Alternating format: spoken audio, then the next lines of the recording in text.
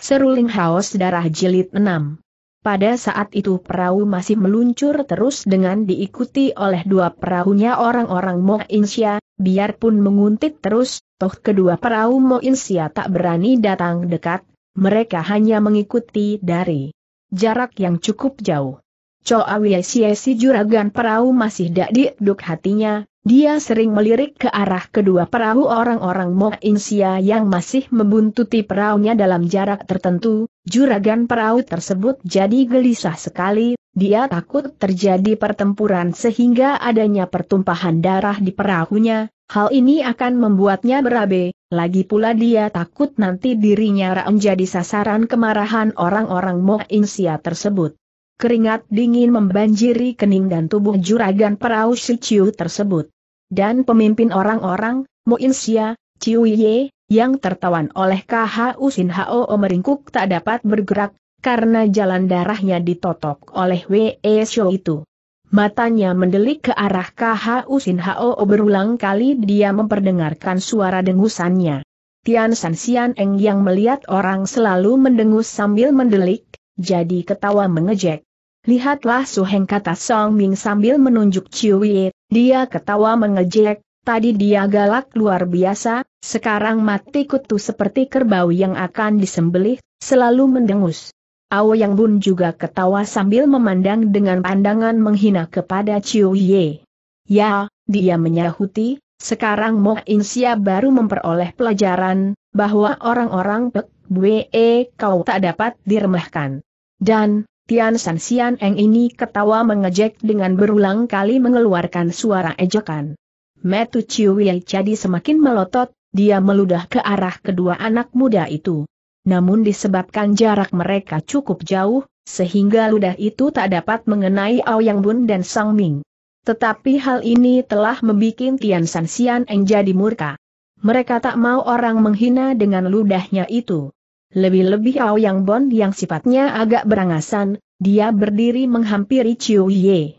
Orang Sbe Ciu, Apakah kau minta dihajar bentaknya dengan suara yang keras? Apakah kau kira kami orang-orang Pek Bue kau tak berani membikin kepala terpisah dari tubuhmu yang tak ada harganya itu tanda seru. HMM. Janganlah membikin nau yang siawayamu jadi murka, sekali perasaannya tersinggung, maka kepalamu itu tak mungkin dapat nempel terus di lehermu siawaya ialah tuan muda. Ciuye ketawa mengejek. Matanya mendelik lebar. Apakah kau duga orang-orang Moinsia dijeri pada kematian tanda seru katanya dengan suara yang asran. Kalau memang kau mau bunuh, bunuhlah. HMM, tak mudah untukmu mampus begitu saja menyahuti Yang Bun sambil ketawa mendecih, ternyata dia sangat meremehkan tawanannya itu. Walaupun kau mampus, toh belum tentu kau dapat. Kalau kami mau, kau tak bisa menjadi memedi kami akan memutuskan seluruh urat-urat jalan darah terpenting di tubuhmu, maka untuk seterusnya, selain ilmu silatmu punah, juga kau akan menjadi si manusia bercaca yang tak ada gunanya hebat ancaman Nao Yang Bun, tapi Ciuye benar-benar tak jeri pada anak muda ini.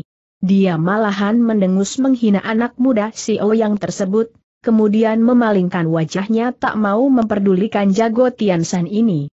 Ao Yang Bun jadi mendongkol melihat sikap orang yang tak mau memperdulikannya itu, dia mengayunkan kakinya menyepak punggung orang Shiciu itu. Bangsat! Apakah kau benar-benar mau mampus bentaknya gusar, dia bukan hanya menyepak saja, tangannya juga bergerak menampar wajah orang Shiciu yang menjadi tawanannya.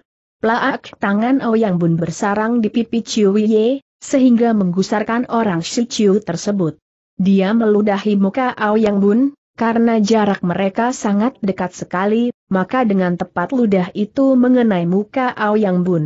Anak muda si Yang tersebut jadi gelagapan untuk sesaat lamanya, namun di saat dia tersadar apa yang terjadi dia jadi sangat murka sekali.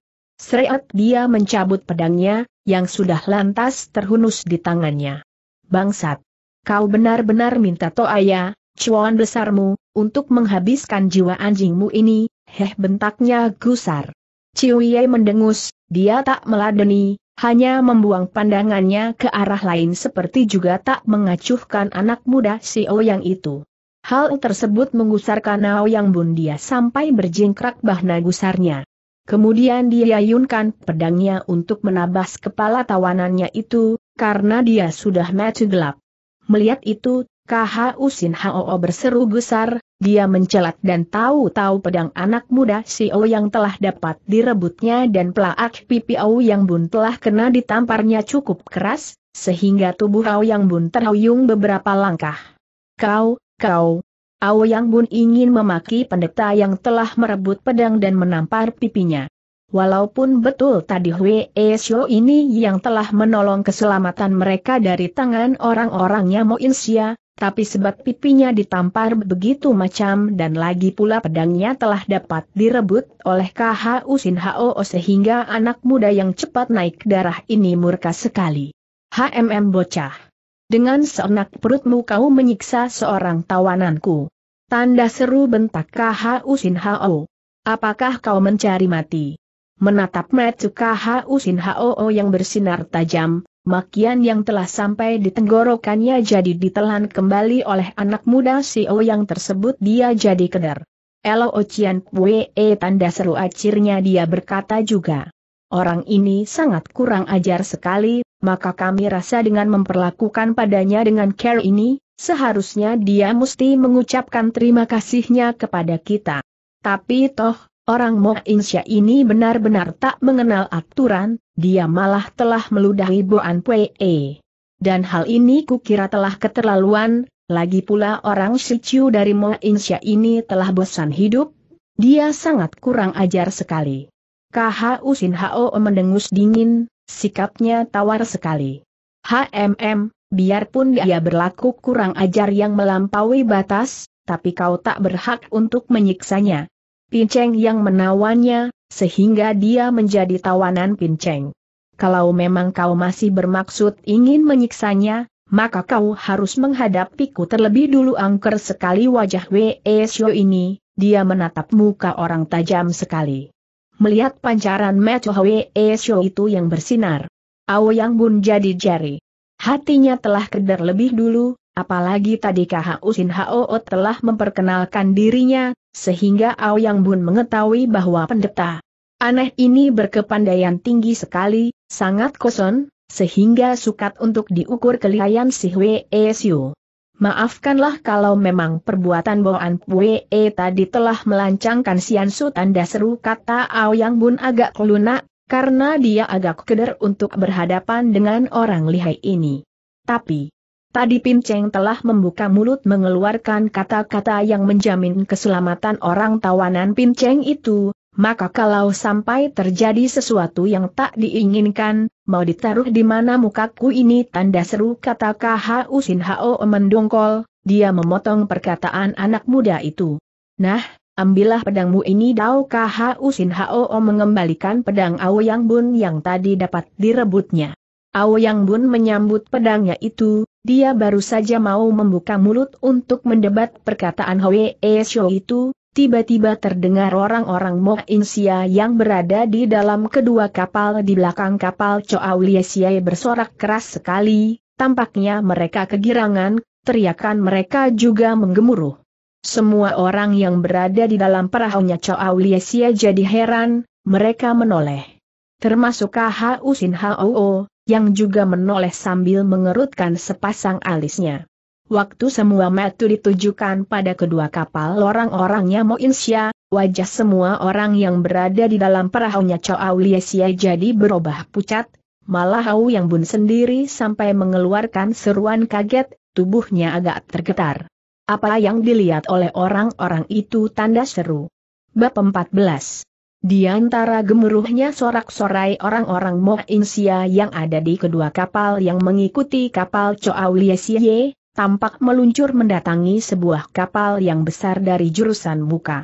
Kapal itu diperlengkapi oleh tiga layar dan di puncak tiang layarnya, berkibar sehelai bendera, di mana terlukis sebuah tengkorak manusia dan di bawah tengkorak itu, terlukis sepasang pedang yang berwarna merah.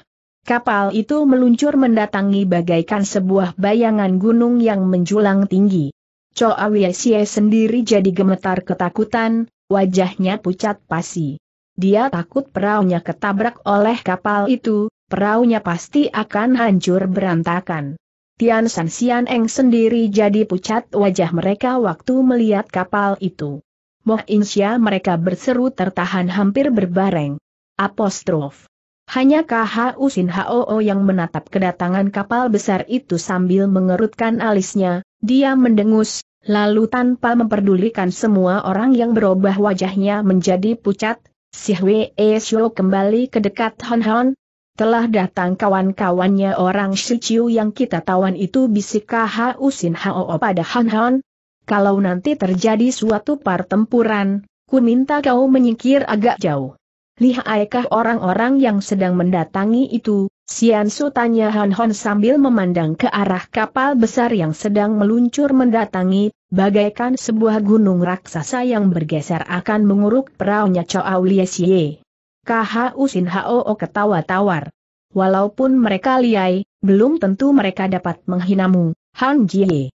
Tanda seru katanya kemudian sambil mengusap-usap kepala si bocah.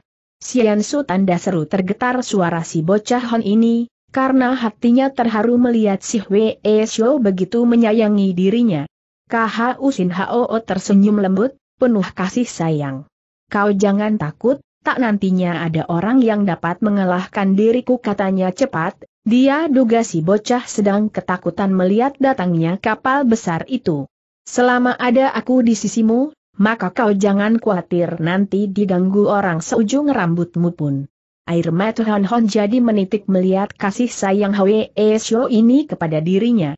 Kau sangat baik sekali, Sian Su tanda seru katanya dengan suara yang perlahan. Entah bagaimana nanti aku harus membalas budimu ini tanda seru. Kembali ke Hausin Hao ketawa tawar. Kukira hal itu tak perlu dibicarakan Hon Jie kata Hwe Shou tersebut tawar budi dan dendam selalu bermunculan di dalam dunia ini, maka kalau memang seseorang tak menaruh dendam pada seorang lawannya, tentu akan menaruh budi pada seorang kawannya. Semuanya memang harus begitu Hon Jie. Tak budi, tak dendam, semuanya sama, kosong tak ada artinya. Siapa yang dapat melenyapkan kedua perasaan tersebut, orang itu akan bahagia. Han Han mengangguk-anggukan kepalanya, dia mengerti apa maksud perkataan Hwe Shou itu. Dia sebagai seorang bocah cilik yang masih berusia muda sekali, baru berusia 10 tahun, telah hidup terlunta-lunta, karena ayah dan ibunya telah gila dan keempat murid ayahnya juga telah gila pula. Malah, di hati seorang bocah yang masih suci ini, tersembunyi sebuah dendam yang menyala, akan menimbulkan kobaran api kekacauan dan kekeruhan nantinya. Memang perkataan KH Usin Hoo benar, manusia yang dapat menghindarkan diri dari dua perasaan yang disebut dendam dan budi itu, maka hidup orang itu akan bahagia sekali, beruntung dalam penghidupannya yang tenang. Pada saat itu kapal yang besar yang meluncur perlahan sekali sudah semakin mendekat, orang-orang Mo Insia yang berada di kedua perahu telah mendekatkan kendaraan air mereka itu pada kapal besar yang baru datang dan seorang demi seorang tampak pindah ke kapal besar tersebut.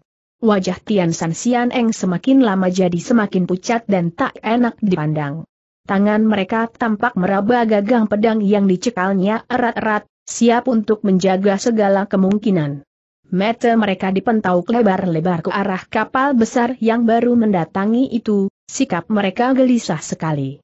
Dari kapal besar itu tiba-tiba keluar seorang laki-laki bertubuh pendek kecil, kepalanya botak, hanya di bagian samping kepalanya yang botak itu ditumbuhi oleh beberapa helai rambut yang berwarna kuning.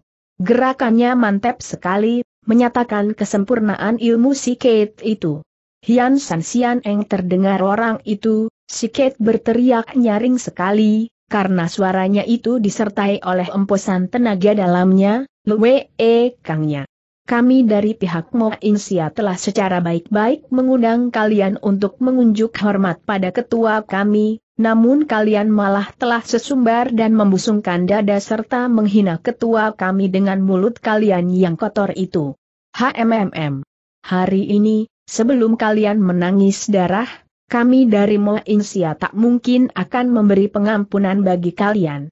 Tian San Sian Eng yang sejak tadi telah gelisah, jadi tambah tak tenang waktu melihat si Kate, karena mereka mengetahui bahwa si Kate adalah Miao, Siu, wakil dari ketua Mo Insia yang mempunyai kepandaian yang luar biasa tingginya, si Kate terkenal koson, sebab dia pernah menjatuhkan tiga orang Hwe Show penjaga tak motong di kuil Xiao Lim Xie. Disebabkan hal itu, si Kate dengan cepat dikenal di dalam rimba persilatan, namanya menjulang cepat sekali, banyak kawan maupun lawan yang jeri padanya. Dia juga terkenal dengan pukulan geledeknya, sebab telapak tangannya yang lebih besar dari umumnya kalau dibandingkan dengan ukuran tubuhnya yang Kate, dapat menghajar pecah sepotong besi yang cukup tebal. Kau tentu orang Shimiao, bukan tegurnya sambil tertawa tawar. Kami memang sudah mendengar nama besarmu itu. Eh tapi sekarang, walaupun kalian mengandalkan jumlah yang banyak, kami orang-orang PBWE kau tak akan mundur satu langkah pun ha majulah, marilah kita bertempur untuk menentukan siapa yang dapat berdiri di permukaan sungai ini. Si Kate, yang memang Miao Siu, ketawa mengejek. Kalian dua orang bocah yang tak punya guna berani menantangku tegurnya menghina. Walaupun kau berlatih lagi sepuluh tahun, belum tentu kau dapat menyentuh bajuku. HMM, lebih baik kau pulang saja menyusul lagi pada ibumu. Wajah Sang Ming jadi merah padam, dia jadi murka sekali. Nyata orang tak pandang sebelah mata pada mereka berdua, Padahal Tian San Sian Eng mempunyai nama yang cukup besar di dalam kalangan Kang Ong, maka sekarang, dikala orang memandang hina pada mereka, tubuh Sang Ming jadi gemetar menahan kegusarannya. Jangan terkebur orang Ximiao Sang Ming balas meneriak sikit. Mungkin juga kepandaianmu setan botak lebih tinggi dari kami satu tingkat, tapi toh kami tak takut. Kematian biasa bagi orang-orang pek bue kau. Nah, majulah, marilah kita bertempur sampai salah seorang di antara kita ada yang mampus. HMMM. HMMM, apakah aku pasti bertempur dengan seorang bocah yang masih ada bau pupuknya kata si Kate mengejek. Sudah kukatakan tadi, baiknya kau kembali saja ke rumahmu dan mintalah pada ibumu itu untuk menyusu. Tanda seru dan miau siu ketawa besar, sampai tubuhnya yang pendek itu tergoncang keras. Muka Sang Ming jadi merah padam saking murkanya karena pulang balik orang telah menghinanya begitu macam. Begitu juga dengan Nao Yang Bun, dia gusar sekali, sampai mementangkan mata matanya lebar mendelik pada si Kate itu. Walaupun Tian San Xiangeng ini mengetahui bahwa mereka bukan tandingan Miao Xiu, dan kepandaian mereka masih kalah beberapa tingkat dari si Kate ini tapi toh mereka jadi murka sekali, karena mereka diremahkan oleh si Kate dan tak dipandang sebelah mata. Hai Kate gundul kalau memang kau mempunyai kepandaian, jangan kau pentang bacot saja di situ. Majulah kami tak jeri pada setan penasaran botak semacam kaseru au yang bun gusar. Sekarang kau merupakan setan botak Kate, nanti kami bikin kau menjadi setan tanpa kepala dan sengaja au yang bun ketawa, dia sengaja ingin membikin hati orang panas. Benar saja, wajah Miao Xiu jadi merah padam, tubuhnya yang pendek agak menggigil menahan kegusarannya. Dengan murka, dia menjejakkan kakinya mencelat dari kapal itu ke arah perahu Chow Liesie. Bocah kurang ajar teriak si Kate dikala tubuhnya melambung di tengah udara. Akan kurobek mulut kotormu itu dan berbareng dengan habisnya perkataan si Kate itu, tubuhnya sudah hinggap di buritan perahu Chow Liesie, matanya yang besar itu menyapu semua orang yang ada di perahu Chow Liesie. Hebat gerakan si Kate ini, Tubuhnya sangat gesit dan lincah, juga lompatannya tadi sangat enteng sekali, menyatakan ilmu entengi tubuhnya telah mencapai kesempurnaannya. Malah yang lebih hebat lagi, jarak antara kapal besar itu dengan perahu Chow Liesie terpisah dalam jarak yang cukup jauh, yaitu 10 tombak lebih, tapi toh si Kate ini masih dapat hinggap di perahu orang si Choa dalam keadaan selamat. Malah waktu dia hinggap, tampaknya enteng sekali. Tian San Sian Eng melihat kehebatan orang, mereka jadi berdiri bimbang. Nyata mereka jeri pada si Kate ini. HMMM tanda seru saat itu si Kate telah mendengus dengan suara yang dingin.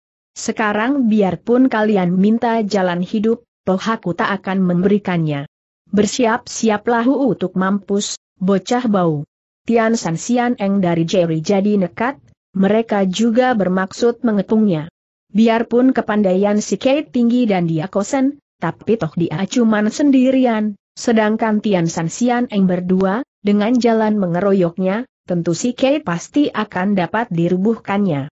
Si Kate ketawa dingin melihat orang menjublek mematung saja berdiam diri. Cabutlah senjatamu bentaknya dengan suara yang nyaring.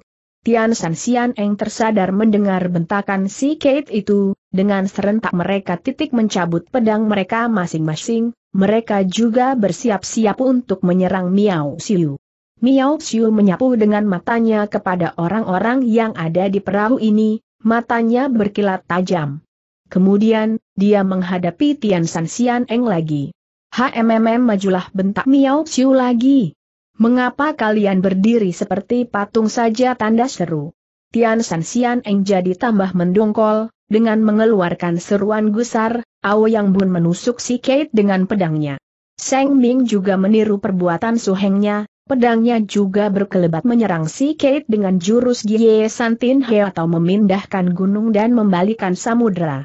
Melihat orang menyerang tanpa sungkan-sungkan, lagi, si Kate ketawa pula, dengan gerakan yang sebat, dia melejit ke kiri, lalu tahu-tahu kakinya melayang menendang tangan Ouyang Bun dengan gerakan Toho Acu atau gerakan tendangan menyapu daun, sedangkan tangan kanannya merawabuh tangan Sang Ming dengan jurus Wahun Keng Wei atau sinar surya membuyarkan uap, dia bermaksud untuk merebut pedang orang. Aoyang Bun yang melibat orang menyerang dengan care begitu, cepat-cepat dia menyingkir dari tendangan kaki si Kate, lalu memutar pedangnya untuk melindungi tubuhnya. Sedangkan Sang Ming sendiri telah melompat ke samping, pedangnya ditarik kembali, kemudian disabetkan ke arah tangan si Kate, bermaksud untuk menabas patus tangan orang. Si Kate Miao Siu ketawa dingin, dia bukannya melancarkan serangannya lagi, melainkan tubuhnya mencelat pesat sekali ke arah Chiu kawannya yang tertawan. Memang tadi dia sengaja memancing Tian San Sian Eng dengan serangannya, dia telah memperhitungkannya dengan menggunakan saat Yang Bun dan Sang Ming mengelakkan serangan, dia akan menolong kawannya yang tertawan itu. Yang Bun dan Sang Ming jadi terkejut melihat kelakuan orang, mereka sampai mengeluarkan seruan. Cepat-cepat mereka menjejakkan kakinya untuk mengejar guna menghalangi maksud orang.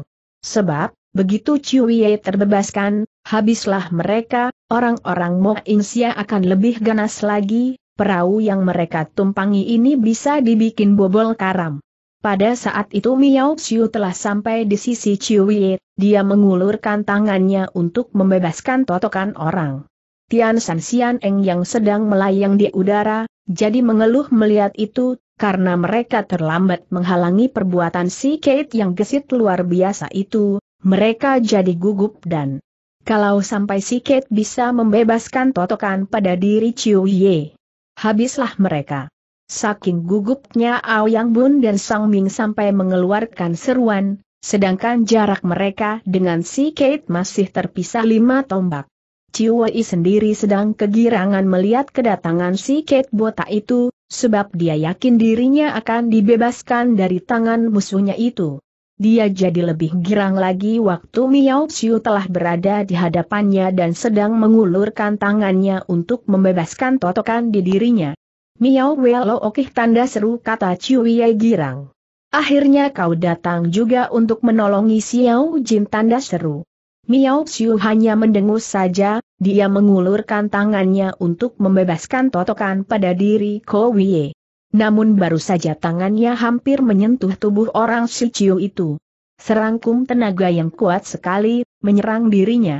Miao Xiu sampai mengeluarkan seruan tertahan, kalau dia meneruskan tangannya, punggungnya akan terserang, sedangkan tenaga serangan itu kuat sekali, maka si Kate tak berani main-main, terpaksa dia menarik pulang tangannya, yang tadi diulurkan untuk membebaskan totokan pada diri Ciuye lalu diputar untuk menangkis serangan di belakangnya. Duk terdengar suara yang keras sekali, karena tangan si Kate telah menangkis tangan si penyerang. Beruntun dengan itu, terdengar suara kerek yang keras, ternyata lantai perahu yang diinjak oleh Miao Xiu telah pecah, karena kerasnya tekanan tenaga serangan dan kuatnya si Kate menangkis, sehingga tubuhnya melesak di lantai perahu itu. Miao Xiu cepat-cepat menarik pulang tangannya dan tubuhnya mencelat menjauhi, untuk menjaga segala kemungkinan. Dia juga heran, karena dia memperoleh kenyataan orang yang menyerangnya itu sangat lihai sekali. Siapakah dia? Waktu telah dapat berdiri tetap, Miao Xiu mendelik mementang matanya lebar-lebar. Di hadapannya berdiri seorang Hwee Shio yang tadi duduk di pojok perahu itu. Sedangkan saat itu Tian San Sian Eng telah sampai di situ juga. Siapa kau, kerbau gundul bentak Miao Xiu murka, karena dia kena dihalangi oleh Hwee Shio itu dan menggagalkan rencananya. Hwee Shio itu ketawa dingin. HMMM, kalau aku kerbau gundulnya, maka kau anak kerbau gundulnya dia menyahuti. Metu si Hwee Shio bersinar tajam. Orang ini adalah tawananku, maka kalau memang kau mau merebut orang dari tanganku, kau dapat merubuhkan pinceng dulu. Wajah si Kate Miao Siu jadi berubah merah padam, dia mengkerutkan sepasang alisnya. Walaupun dia sangat murka, toh dia tak berani sembarangan bergerak, karena dia tahu Hwee Shio ini lihai sekali. Siapakah nama besar Sian Su tegurnya? Kami kira, antara Sian Su dengan kami dari pihak Mo Insya belum pernah saling berhubungan, dan juga tak pernah bermusuhan mengapa Sian Su menawan orang kami ini tanda seru. Hwee Shio itu ketawa dingin. HMMM, aku si padri miskin paling tak mau usil dengan urusan orang lain katanya dingin. Tapi orang itu, dikala dia kalah bertempur dengan mereka ini dan Hwee Shio itu menunjuk Tian San Sian Eng dia malah akan menggunakan akal busuk, akan membobolkan perahu kami ini dan akan menghujankan kami dengan panah-panah beracun. Apakah orang-orang semacam dia ini patut diberi hidup? Miao Xiu, si Kate Gundul menoleh sekilas pada Chiu Wei, kawannya yang masih menggeletak tertotok itu, kemudian dia menoleh kepada Tian San Sian Eng. Si Kate ini mendengus, barulah dia menghadapi si Wei Xiu lagi. Siansu. Kata si Kate kemudian. Kukira dengan Siansu Mo Insia tak pernah ada sangkutan, maka kalau Tok Chuye mau mengambil tindakan begitu, kukira Siansu tak mungkin terseret-seret. Kepalamu gundul, Kate bentak Hwe Esho itu, yang ternyata KH Usin Hoo, dengan suara yang mengejek. Apakah kau kira dengan karamnya kapal ini dan dihujani akan panah beracun, aku si padri miskin tak akan mampus? Hu, hu, lidahmu benar-benar tak bertulang. Wajah Miao Siu jadi berubah, matanya mencilak memain. Jadi apa mau Siansu tegurnya tak senang. HMMM aku mengingini kalian tetap meninggalkan kawanmu itu untuk tanggungan, Sampai kami mendarat nanti menyahuti KH Usin Hoo dingin. Wajah si Kate gundul itu jadi berubah merah, nyata dia gusar sekali. Apakah Siansu benar-benar tak ingin memberi muka padaku tanyanya? Keras. Mendengar pertanyaan orang, KH Usin Hoo, jadi ketawa keras, sampai tubuhnya tergoncang. Apakah orang semacam kau Kate Gundul, perlu diberi muka dan dihormati? Tanda tanya. Katanya mengejek. Biasanya, si Kate adalah penipu, si Kate adalah licik, si Kate adalah tanda petik. Tahan bentak Miao gusar dia tak tahan mendengar perkataan si Hwee Xiu, malah saking gusarnya dia sampai berjingkrak. Kau adalah orang beribadat mau apa kau mengeluarkan kata-kata yang dapat melukai perasaan orang? HMM, walaupun Elo Olap seorang padiri, tapi Elo Olap tak terikat dengan segala peraturan, maka itu, kalau memang kenyataannya itu licik, Elo Olap berhak untuk mengatakannya bahwa si Kate Gundul ini licik dan seorang penipu besar. Menyahuti KH Usin Ho sambil mendengus mengejek. Miao Xiu jadi gusar benar, dia mengeluarkan suara bentakan, tubuhnya mencelat, kedua tangannya diulurkan untuk menyerang dan menyerang dengan bengis sekali. KH Usin Hao melihat Carol menyerang orang, dia ketawa mengejek. HMMM, permainan bangpak semacam ini mau dipertunjukkan di hadapanku katanya sambil mengibaskan lengan jubahnya yang kebesaran, serangkum angin menyerang Miao Xiu. Hebat kesudahannya. Miao Xiu merasakan serangkum tenaga serangan yang tak kelihatan, yang kuat sekali, mendesak dirinya, hati si Kate ini jadi mencelos, ia berusaha untuk mengelakkan namun berhubung tubuhnya sedang berada di udara, maka dengan tak ampun lagi, serangan tenaga yang kuat dari KH Usin Hoo telah menghajar dirinya, ia mengeluarkan jeritan kaget dan tubuhnya yang pendek cebol itu melayang lalu kecebur di sungai, sampai air sungai munkrat naik ke atas. Orang-orang Mo Insya melihat hal ini sampai mengeluarkan seruan kaget, sedangkan Tian San Sian Eng bersorak mengejek. KH Usin Hao menoleh menatap Tian San Sian Eng sambil mengerutkan sepasang alisnya, kemudian dia memutar tubuhnya dan kembali ke tempatnya di samping Hon Hon. Pada saat itu Miao Xiu telah ditolong oleh orang-orangnya, dia naik ke perahunya dengan tubuh basah kuyup. Wajah Mia merah padam, matanya mendelik, menyatakan dia sangat murka sekali. Tetapi dia tak berani melompat ke kapal Chow Liesie, sebab dia sekarang mengetahui, KH Usin Hao lihai sekali. Dengan mengibaskan lengan bajunya, si Kate memerintahkan orang-orangnya untuk menjalankan perahunya. Dalam waktu yang singkat perahu itu telah menjauh dari perahu Chow Liesie dan akhirnya kapal-kapal orang Mo Insya meninggalkan tempat tersebut.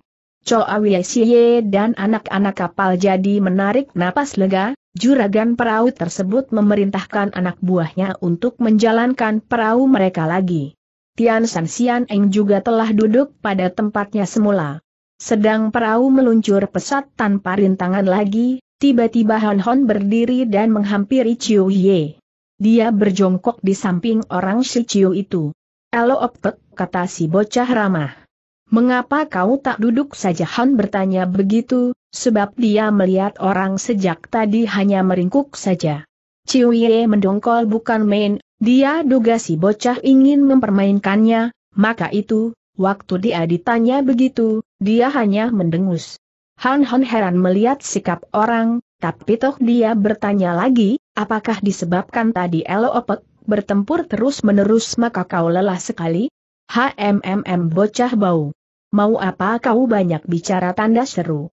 Aku orang Shiciu telah jatuh di dalam tangan kalian, tapi jangan harap aku akan menghibah-hibah minta ampun. Kalau mau bunuh, bunuhlah. Han Han heran, dia jadi melengak. Heh, siapa yang mau membunuh Elo Opek? Tanyanya bingung. Sudahlah Elo Opek, tak guna kita saling bermusuhan, bukanlah lebih baik kita mengikat tali persahabatan, bukankah ada pepatah yang mengatakan, semakin banyak sahabat, semakin bahagia hidup manusia. Kurasa, antara Elo Opek dengan Jie Giesu, kedua orang gagah, itu tak mempunyai ganjilan hati yang tak dapat diselesaikan, bukan? Ciwie tak mau melayani bocah Shihon itu, dia hanya mendengus dan mengawasi dengan mata mendelik. Biar Hon Hon tabah, Poh melihat metu Ciwie yang begitu bengis, dia jadi kedar juga. Cepat-cepat dia menghampiri KH Usin Hao. Taisu, kasihan orang itu kata si bocah sambil menatap wajah KH Usin Hao. Bisakah Taisu menolongnya dari penderitaannya itu? KH Usin Hao tersenyum, wajahnya ramah sekali. Ya, ya, Han Jie katanya cepat. Kukira di antara aku dengan dia tak ada permusuhan, maka karena ini adalah permintaanmu, mau aku membebaskannya tanda seru sehabis berkata, benar saja KH Usin Hao berdiri dari duduknya dan menghampiri Chiu Ye. Tian San Sian Eng mendengar perkataan KH Usin Hao, mereka jadi terkejut. Malah kau yang bun telah melompat berdiri dan menghampiri paderi itu yang sedang menghampiri orang tawanannya itu. Siansu, kuharap Siansu jangan membebaskan orang Shichu ini dulu, sebab begitu orang Shichu ini memperoleh kebebasannya, kita bisa berabe. KHU Sin Hao mendelik pada Aoyang Bun. Kalau memang aku membebaskan juga orang itu, kau mau apa bentaknya asran? Wajah Tian San Sian Eng, Aoyang Bun jadi berubah. Dia jari melihat orang mendelik padanya, maka dari itu cepat dua dia menjura. Kalau memang Sian Su ingin membebaskan juga, ya terserah pada Sian Su saja katanya dengan suara yang tawar. Kemudian dia memutar tubuhnya dan kembali ke tempatnya. KHU Sin Hao hanya mendengus melihat wajah Hao Yang Bun, dia tahu orang penasaran. Tapi dia tak mau memperdulikannya. Sekali menepuk punggung Ciu Ye, maka orang Shi Ciu itu telah terbebaskan dari totokannya. Orang Shi Ciu, kali ini karena memandang muka anak Hon, mau aku membebaskanmu, namun kalau memang kau berbuat sesuatu yang membahayakan kami, maka aku terpaksa harus turun tangan. Sebetulnya antara kau dan Elo Olap tak ada ganjilan apa-apa, juga terhadap orang-orang Pek Bwe kau itu Elo Olap tak mempunyai hubungan sesuatu apa pun, maka kalau memang tak membahayakan dan mengganggu diri Elo Olap, aku tak mau ikut campur urusan kalian. Ciwie tak menyahuti, dia juga tak mengucapkan terima kasih, hanya bangkit berdiri dengan mata mendelik. Kemudian dia memutar tubuhnya kepada Han Han, katanya dingin, bocah, kau telah melepas budi padaku, maka pada suatu kali, aku pasti akan membalas budimu itu, sebab aku si orang Shichiu tak pernah menghabiskan antara budi dan dendam begitu saja. KH Usin Hao hanya ketawa dingin saja, karena ia tahu, perkataan Ciuye itu ditujukan untuk dirinya dan Tian San Siam Eng, Ciuye mau maksudkan dia tidak akan melupakan budi kebaikan Han Hon yang telah meminta kebebasan. Dirinya pada Sin Hao, juga dia tak akan melupakan dendamnya pada KH Usin Hao dan Kian San Sian Eng, karena orang telah merubuhkannya. Perahu meluncur terus, sampai akhirnya menepi dengan selamat. KH Usin Hao mengajak Hon Hon turun dari perahu itu, begitu juga Ciuye yang telah melompat mendarat begitu perahu sudah mendekat pada tepian. Orang si Ciu itu sudah lantas kabur. Tian San Sian Eng turun belakangan, mereka agak mendongkol pada KH Usin Hao yang telah membebaskan Ciuye. Sedangkan si Paderi KH Usin Hao telah mengajak Hon Hon ke sebuah rumah penginapan. Mereka bermalam di situ.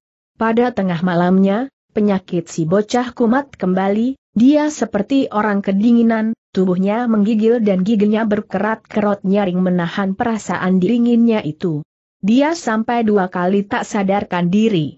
Menyaksikan penderitaan si bocah itu, KH Usin Hao berduka sekali, dia tak dapat memberikan pertolongan kepada bocah itu dia hanya dapat menolong bocah itu dengan menotok jalan darah Ciu Kiahiatnya untuk membuat bocah itu tertidur pulas agar penderitaannya berkurang. Sedang Han Hon tertotok pulas.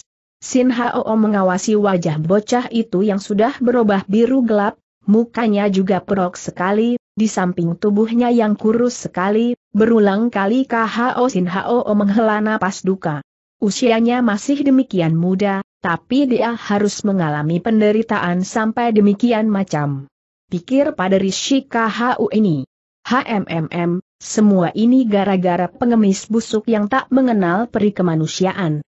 Lama Sin Hao mengawasi wajah Hon Hon dia merasa iba pada penderitaan bocah itu. Akhirnya, dia menuju ke pembaringan dan duduk bersemedi di situ. Tetapi, belum lagi dia duduk bersama di sepasangan hio, terdengar suara rintihan bocah itu.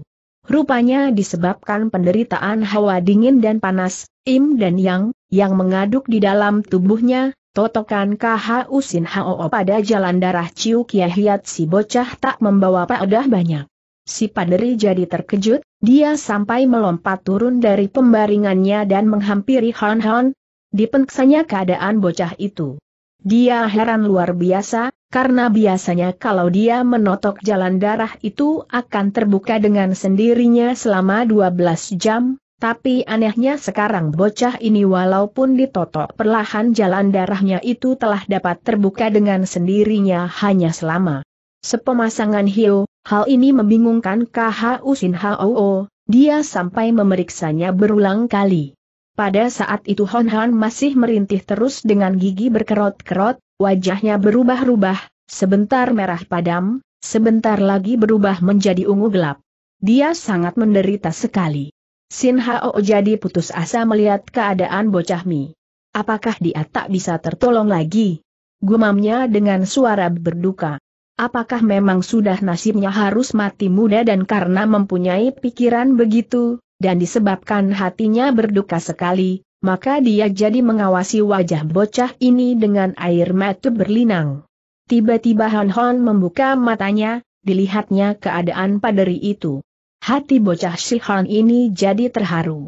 Dengan menahan perasaan dingin dan panas yang mengamuk di tubuhnya, dia mengulurkan tangannya dan menggenggam tangan CHWSU. Taisu, kau jangan terlalu memikirkanku. Katanya dengan suara yang perlahan. Aku tahu, semua ini mungkin sudah nasibku, sehingga keadaanku jadi begini macam. Tapi, kukira dalam beberapa hari, penyakitku ini akan sembuh dan si bocah berusaha untuk tersenyum, walaupun dengan bibir tergetar.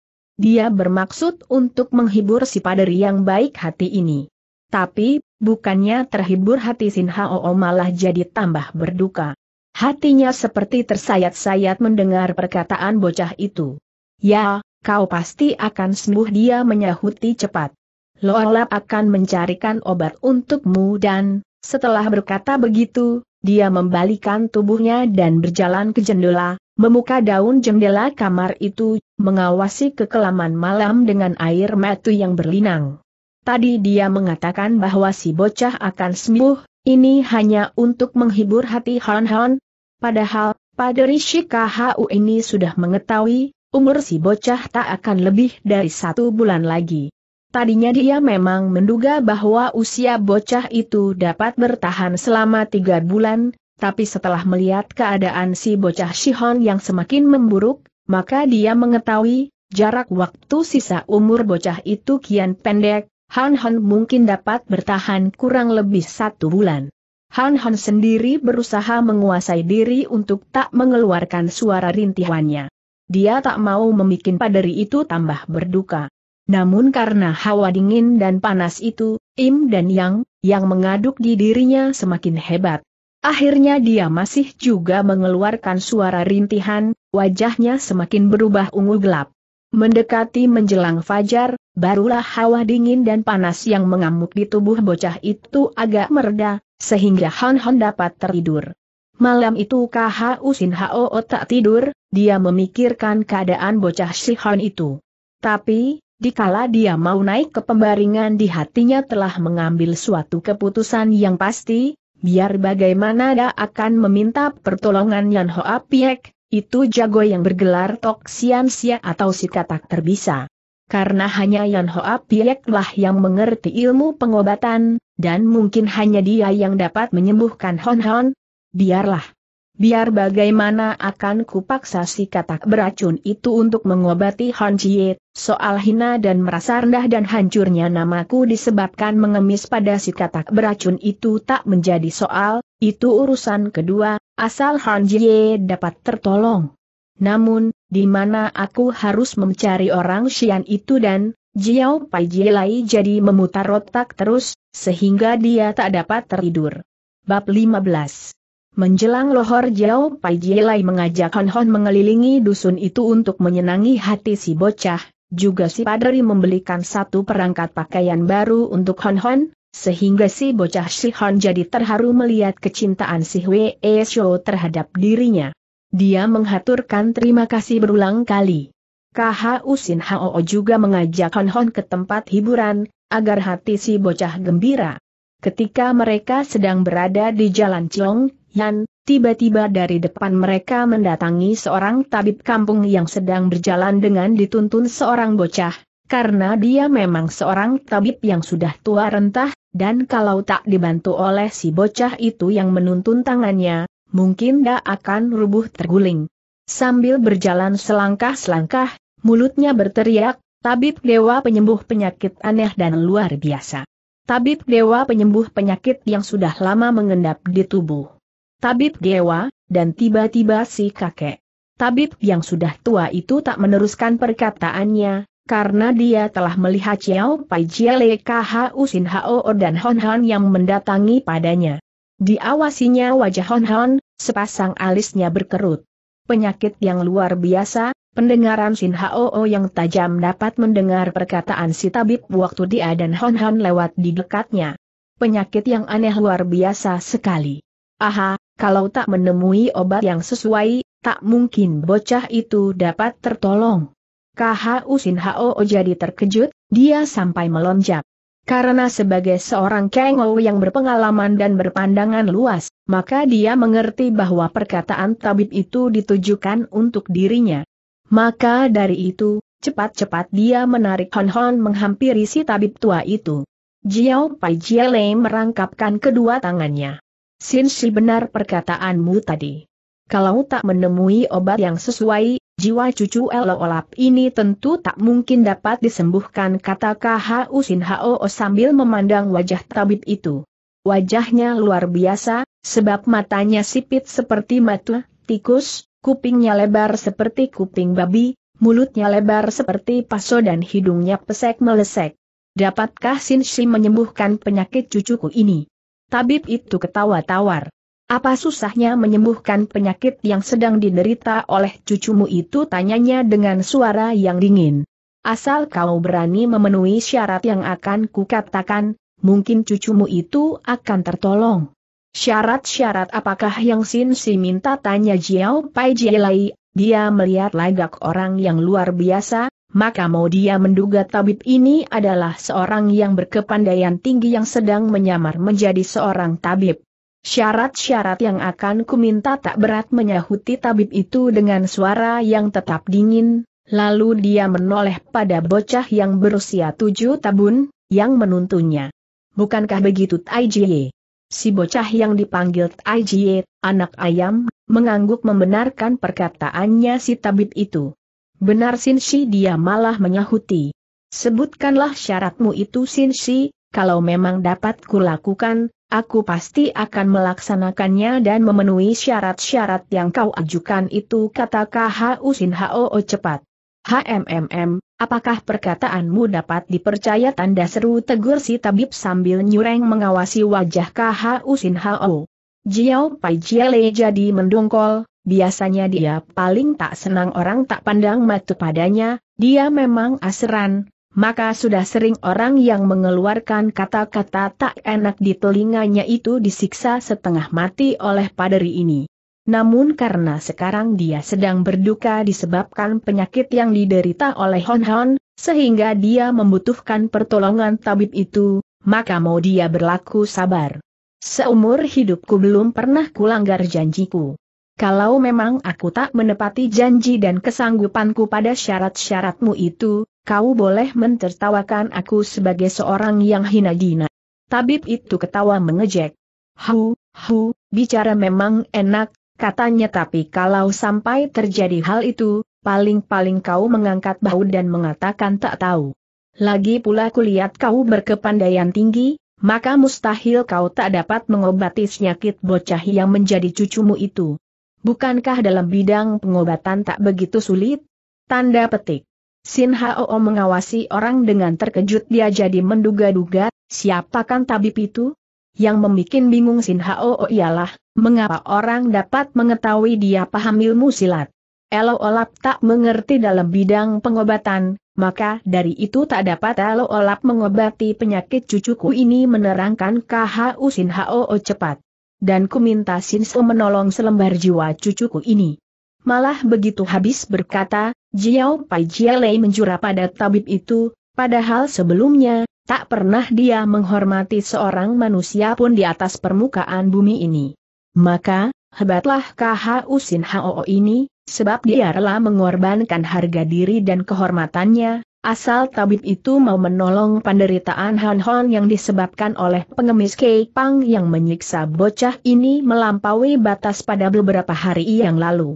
Padahal, pada sebelumnya, dia merupakan seorang tokoh persilatan yang dihormati oleh orang-orang rimba persilatan, sebab kepandaian silatnya yang sukar diukur. Dia juga tinggi hati dan tak gampang-gampang mau mengalah pada orang lain. Tapi sekarang, demi Hon Hon, dia telah memperlakukan si tabib begitu hormat. Pada saat itu tabib tersebut telah tertawa dingin lagi, sikapnya sangat tawar. Aku dapat menyembuhkan jiwa cucumu ini katanya tawar, tetapi kau sendiri, aku tak tahu mau atau tidak meluluskan permintaanku tanda seru. Sebutkanlah Sin Shik kata KHU Sin HOO cepat. Kalau memang untuk kebaikan cucuku ini, walaupun harus melakukan segala sesuatu yang sulit, aku pasti akan meluluskan permintaan Sin Shi. Kembali tabib itu ketawa dingin. Bukankah kau Jiao Pai Jiale KHU Sin HOO tanyanya mendadak, matanya juga mencilak. KHU Sin HOO sendiri sampai terkejut orang dapat mengenali dirinya, dia sampai mengangkat kepalanya mengawasi tabib itu. Tetapi Sin Hao tak dapat mengenali siapa tabib itu adanya. Benar dia menyahut sambil mengangguk. Elo olap memang si orang Shikahau. Siapakah Sin Shi? HMMM, kukira namaku tak perlu kau ketahui menyahuti si tabib dengan suara yang dingin. Hanya aku sangsi, apakah setelah ku sebutkan permintaanku itu kau akan menelan perkataanmu yang telah kau ucapkan itu. Wajah KHU Sin Hao jadi berubah merah. Dia jadi medongkol. Katakanlah Sin Si, aku pasti akan meluluskan permintaanmu itu katanya agak keras. Betul? Kau pasti akan meluluskan permintaanku tanya si tabib menegaskan.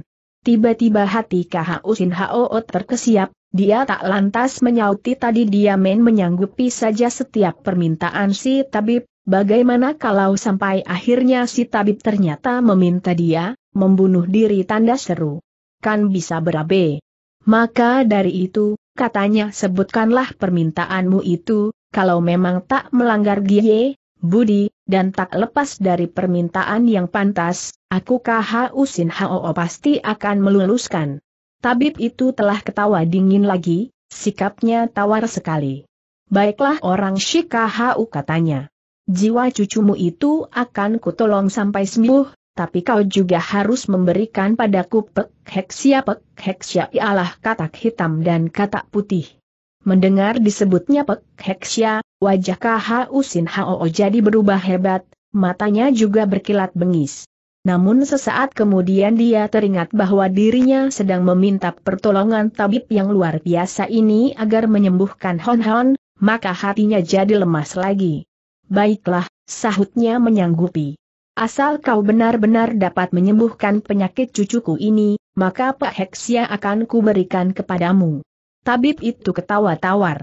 Soal menyembuhkan penyakit si bocah ini sangat mudah, sama mudahnya dengan membalikan telapak tanganku, tapi yang meragukan aku, apakah setelah ku sembuhkan penyakit cucumu ini, kau akan memegang kata-katamu itu tanda seru.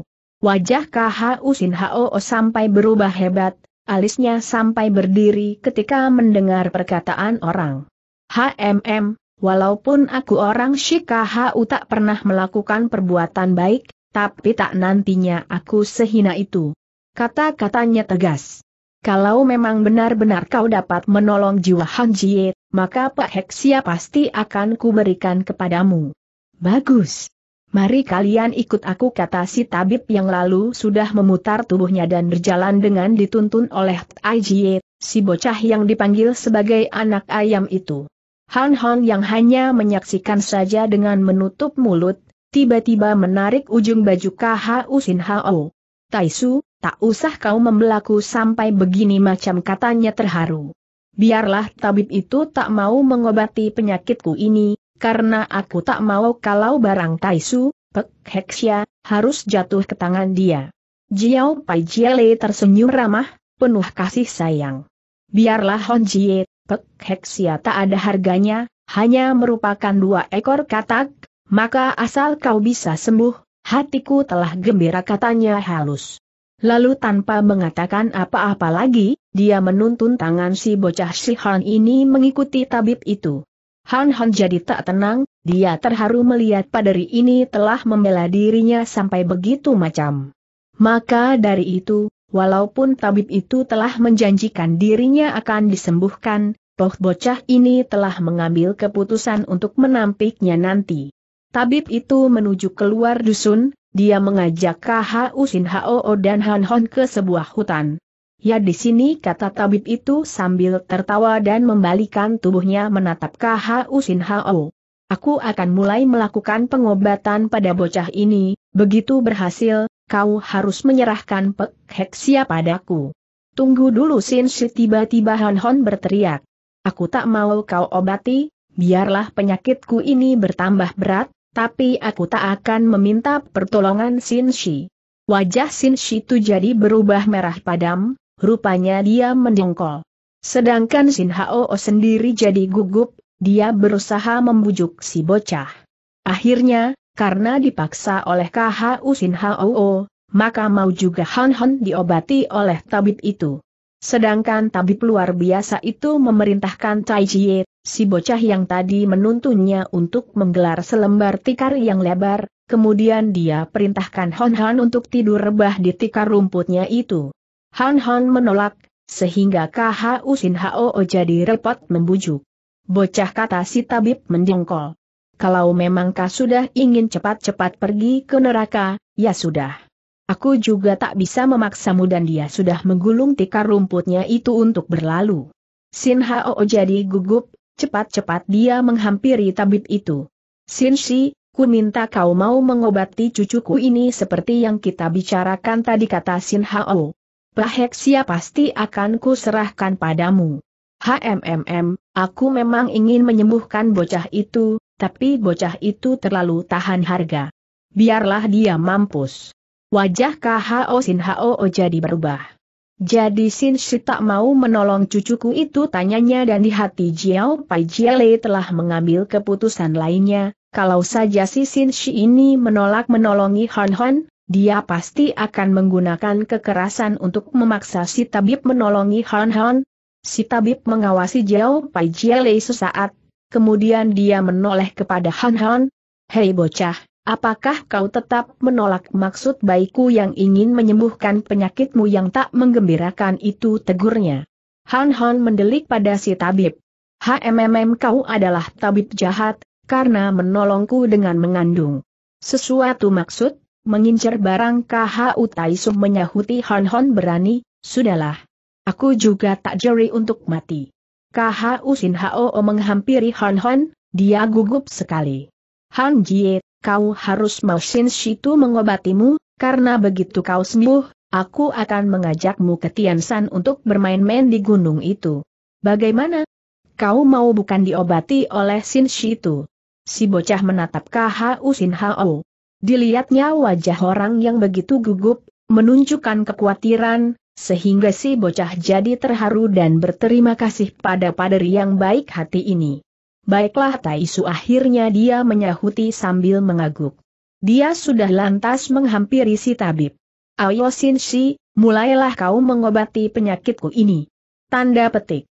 Tabib itu sudah mendongkol, dia juga lantas ketawa mengejek. HMMM, belum pernah ada orang yang memohon pertolonganku dengan care kau, bocah katanya bengis. Apakah kau kira kalau aku tak mau mengobatimu kau bisa memaksaku? Shinshi, cepatlah kau memulai pengobatanmu, karena kalau terlambat, jiwa cucuku ini akan berbahaya sekali. Tabib itu ketawa dingin. Begini saja kita atur katanya tawar. Kukira sekarang ini kau tak membawa pek heksya, bukan? Nah, si bocah kau titipkan saja padaku, nanti setelah berselang tiga bulan, setelah bocah ini sembuh, aku akan mengantarkannya padamu kita bertemu di kota Chong'an. Nanti ku serahkan cucumu ini dan kau menyerahkan Praheksia padaku. Bagaimana, akur? Sin Hao mengangguk cepat. Baik. Begitupun boleh katanya dengan suara yang gugup, aku akan menantikan kau di Chongxia untuk mengembalikan cucuku itu. Tapi kalau sampai selembar rambutnya saja terganggu, kau akan kubunuh. Biarpun kau melarikan diri ke bulan, Tohaku akan tetap mengejarmu. Jangan khawatir menyahut si tabib tawar. Jiwa cucumu ini akan selamat. Percayalah. Asal ingat, begitu aku menyerahkan kembali bocah ini padamu, kau pun harus menyerahkan pek heksya milikmu itu. Boleh menyahuti KHU Sin Hao cepat. Tapi kalau sampai cucuku ini mengalami sesuatu yang tak menggembirakan, aku akan mencarimu untuk melakukan perhitungan. Si tabib hanya ketawa tawar, dia menggapai tangannya pada Han Han. Ayo kita berangkat katanya nyaring, dia bukan hanya berkata, karena tabib itu telah memutar tubuhnya dan mulai melangkah pergi dengan mulutnya meneriaki. Tabib Dewa, dapat menyembuhkan segala macam penyakit, berat dan ringan, semuanya pasti akan sembuh. Tabib Dewa. Tabib Dewa. Melihat si tabib akan berlalu, KHU Sin Hao memerintahkan Hon Han untuk ikut pada tabib itu. Entah kenapa, dalam keadaan panik KHU Sin Hao jadi main mempercayai tabib itu saja. Sebetulnya Han Han berat berpisah dengan paderi yang baik hati itu, tapi karena KHU Sin Hao mendesaknya, Terpaksa akhirnya dia menyusul tabib luar biasa itu dan mengikuti di belakangnya si tabib. KHU Sin Hao sendiri menghela napas. Dia jadi berduka. Karena Han Han yang menderita penyakit yang begitu membahayakan jiwanya, kedua si tabib telah meminta Pek Heksia sebagai imbalannya dan Jiao Pai Jiale ini telah main menyanggupi saja. Padahal, Han Han sendiri pun tahu bahwa Pek Heksia itu sebetulnya adalah binatang yang langka dan jarang sekali orang memilikinya, karena kedua katak hitam putih itu dapat mengobati orang yang keracunan. Itulah sebabnya KHU Sin Hao sangat menyayangi kedua binatang yang luar biasa itu. Namun disebabkan dia ingin menolong jiwa Han Han, terpaksa dia harus mengorbankan katak pusaka itu. Setelah menghela napas berulang kali, akhirnya Sin Hao kembali ke hotelnya. Karena dalam beberapa malam terakhir ini dia kurang tidur disebabkan menjaga terus Han Han yang sering jatuh pingsan, maka begitu rebah di pembangunan, dia tertidur nyenyak, di hatinya dia sudah mengambil keputusan untuk menuju ke kota Cirongan untuk menunggui kedatangan si tabib luar biasa itu. Tapi, yang membuat Sin Hao tak mengerti, Siapakah sebetulnya tabib yang luar biasa itu tanda seru? Apakah dia seorang tokoh persilatan yang sedang menyembunyikan diri? Entahlah. Sin Hao tak mengenalinya. Bab 16 Si tabib yang luar biasa ini mengajak Hon Hon ke dalam hutan. Selama itu dia tak mengatakan sepatah kata pun pada si bocah Shihar itu, dia menutup mulutnya rapat-rapat. Sedangkan Hon Hon juga tak banyak bertanya, dia hanya mengikuti dengan mendongkol di belakang si tabib. Jauh juga mereka melakukan perjalanan di dalam hutan tersebut, sampai akhirnya tiba di muka hutan yang sebelah lainnya. Di situ terdapat sebuah lapangan rumput yang luas sekali, tak tampak sebuah rumah penduduk di daerah tersebut. Tabib luar biasa dan Tai Jie, si bocah yang menuntunnya, telah duduk di bawah pohon, dengan mata mendelik tabib itu menatap Han Han. Duduk, Bocah bentaknya nyaring. Han Han jadi mengerutkan alisnya, sejak bertemu dia memang mempunyai kesan yang kurang baik pada tabib ini. Juga yang membuat dirinya heran, mengapa si Hwe Esyo, KH Usin Hao, Men mempercayai tabib ini dan menyerahkan dirinya dibawa oleh si tabib begitu saja. Lebih-lebih sekarang, dikala melihat kelakuan si tabib yang ugal-ugalan maka kesan buruk yang bersemi di hati si bocah jadi kian membesar. Han Han duduk agak menjauh dari tabib itu, dia duduk di bawah sebuah pohon lainnya. Tabib itu ketawa dingin, wajahnya tak enak dilihat. HMMM bocah bertingkah. Katanya dingin. Dia menoleh kepada Aja coba kau lihat, bocah itu terlalu bertingkah tidak? Aije mengangguk. Bocah semacam dia memang harus dimampusi menyahuti Aije. Dengan memberikannya dia makan racun barulah puas hati kita. Bagus. Kita memang harus memberikan racun pada bocah bau yang bertingkah ini. Menyahuti si tabib menimpali perkataan Tai Jie. Hati Hon Hon jadi mencelos mendengar perkataan kedua orang itu. Seketika itu juga dia menduga bahwa si pengemis tentunya orang jahat. Walaupun Han Hon termasuk seorang bocah yang tabah, tapi mendengar dirinya akan diracuni, diberi makan racun, poh hatinya jadi kebat-kebit. Dengan tak sengaja, dia melirik ke arah si tabib dan si bocah Taijie, kebetulan kedua orang itu sedang menatapnya juga dengan mata mendelik, sehingga Han Han jadi menggidik melihat pancaran metu kedua orang itu. Han Han jadi mempunyai maksud untuk kabur. Bocah, terdengar tabib itu telah memanggilnya. Han Han menoleh, tapi dia tak menyahuti.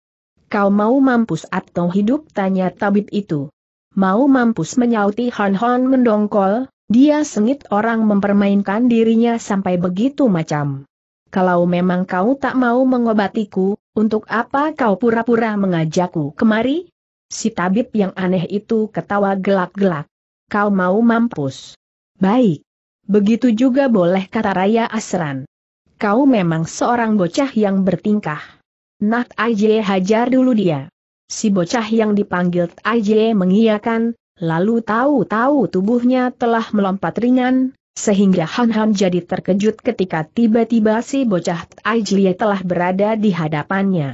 Buk tahu-tahu dada Han Han telah kena ditojos oleh AJ. Han Han merasakan dadanya yang sakit luar biasa, dia sampai mengeluarkan jerit kaget waktu tubuhnya terjungkal. Hajar lagi Aijie terdengar si tabib berseru nyaring. Aijie berusia lebih kecil dari Han Han tapi karena dia mengerti ilmu silat, maka dia jadi mempunyai tenaga yang cukup besar dan gesit sekali. Mendengar perintah si tabib, dia telah mengayunkan tangannya dan plak, plok, plak, plok, yang enyaring sekali, pipi Han Han telah kena dihajar pulang pergi. Han Han jadi melengak, tapi dia tak dapat lama-lama berdiam dari pukulan-pukulan si bocah Taijie. Darah bocah ini jadi meluap. Memang sejak pertama dia sudah tak menyenangi kedua orang ini, apalagi sekarang dirinya seperti dijadikan bulan-bulanan kedua orang itu, dihajar pulang pergi. Sedangkan Tai Chiet telah mengayunkan tangan kirinya akan menghajar dada Han Hon lagi. Tapi kali ini Han Hon jadi nekat, walaupun dia tak bisa bersilat, toh sebagai seorang manusia yang terdesak begitu macam, maka dia menggerakkan tangannya untuk menangkis. Tapi karena gerakan-gerakan Tai Jie gesit sekali, maka Han Han menangkis angin, Sedangkan tangan Tai Chie telah menyelusup dari bawah tangan Han Hon dan Buk terdengar suara gebukan pada diri Han Hon yang nyaring sekali, sehingga si bocah si Han tersebut jadi terjungkel lagi. Si tabib yang luar biasa itu ketawa gelak-gelak. Tubuhnya juga ikut tergoncang karena dia tertawa keras sekali. Hajar lagi Tai Chie, bikin dia terkuing-kuing seperti anjing. Perintah si tabib. Aije mengiyakan lagi, Lalu tubuhnya mencelat, mencengkeram baju Han Hon di bagian dadanya, kemudian tubuh Han Hon diangkat kaya dan dibanting pula. Dengan keras, sehingga Han Hon jadi nyungsep mencium tanah. Ketika dia berbangkit, dari hidungnya telah mengucur darah segar. IJY telah ketawa mengiringi suara ketawa tabib, wajah mereka luar biasa, sangat bengis. Walaupun masih kecil sekali, tapi wajah Taije membayangkan hawa pembunuhan. Sikapnya juga mengancam sekali. Dibunuh saja, suhu tanyanya kemudian dengan suara riang. Si tabib yang ternyata suhunya, guru, dari Taijie, masih tetap tertawa, tapi waktu mendengar pertanyaan Taijie, dia mengulap-ulapkan tangannya. Jangan katanya cepat. Jangan dibunuh. Aku bisa repot nantinya pada situasi KHU itu. Siksa saja. Baik menyahuti Aijie, dia sudah melompat lagi dan terdengar kembali suara Buk yang nyaring luar biasa, tampak Hon Hon yang sedang berusaha bangkit itu telah rubuh terjungkel lagi, karena dadanya dirasakan sakit sekali. Namun, walaupun menimbulkan perasaan sakit, tapi setiap Aijie memukul dirinya, Han Hon merasakan semacam hawa hangat yang luar biasa bergolak di dalam perutnya. Semakin dipukul oleh Taijie, dia jadi semakin segar. Tetapi, biarpun begitu, si bocah Shihan ini jadi gusar sekali orang telah menyiksanya demikian rupa. Maka dari itu, waktu tubuhnya rubuh terguling, cepat-cepat dia bangun untuk berdiri. Di saat itulah Taijie tengah mengayunkan tangannya akan menjotos dada Han Hon lagi, tapi sekarang Han Hon telah bersiap-siap. Dengan sekuat tenaganya dia menangkis serangan Tai Jie, sehingga kedua tangan mereka saling bentur dan berbareng dengan itu Hon Hon menggunakan tangan kirinya untuk mendorong. IJ melihat serangannya dapat ditangkis Han Han, malah tangan kiri Han Han mendorong dadanya, dia jadi berseru marah sambil berusaha mengelakkan tangan kiri Han Han yang mengincar dadanya itu. Tapi terlambat, dengan tak terduga, tangan Han Han mengenai tepat dadanya, sehingga terdengar suara buk, kreek yang nyaring sekali, yang kemudian disusul oleh suara jeritan Tai Jie yang tubuhnya terpental, dadat Aijie ternyata telah kena dihajar oleh Hon Hon. Aijie ambruk di tanah tanpa dapat berkutik lagi, wajahnya pucat dan matanya mendelik lebar, napasnya telah berhenti. Ternyata dia telah mati. Si tabib yang menjadi guru Aijie jadi terkejut, dia melompat pada muridnya itu. Diperiksanya keadaan Taijie, dilihatnya dada si bocah telah hangus. Dan bocah ilu sendiri sudah tak bernapas, karena nyawanya telah terbang menuju ke neraka. Si tabib jadi murka luar biasa, dia sampai berjingkrak. Bocah setan. Kau menggunakan ilmu siluman apa membunuh muridku itu, heh.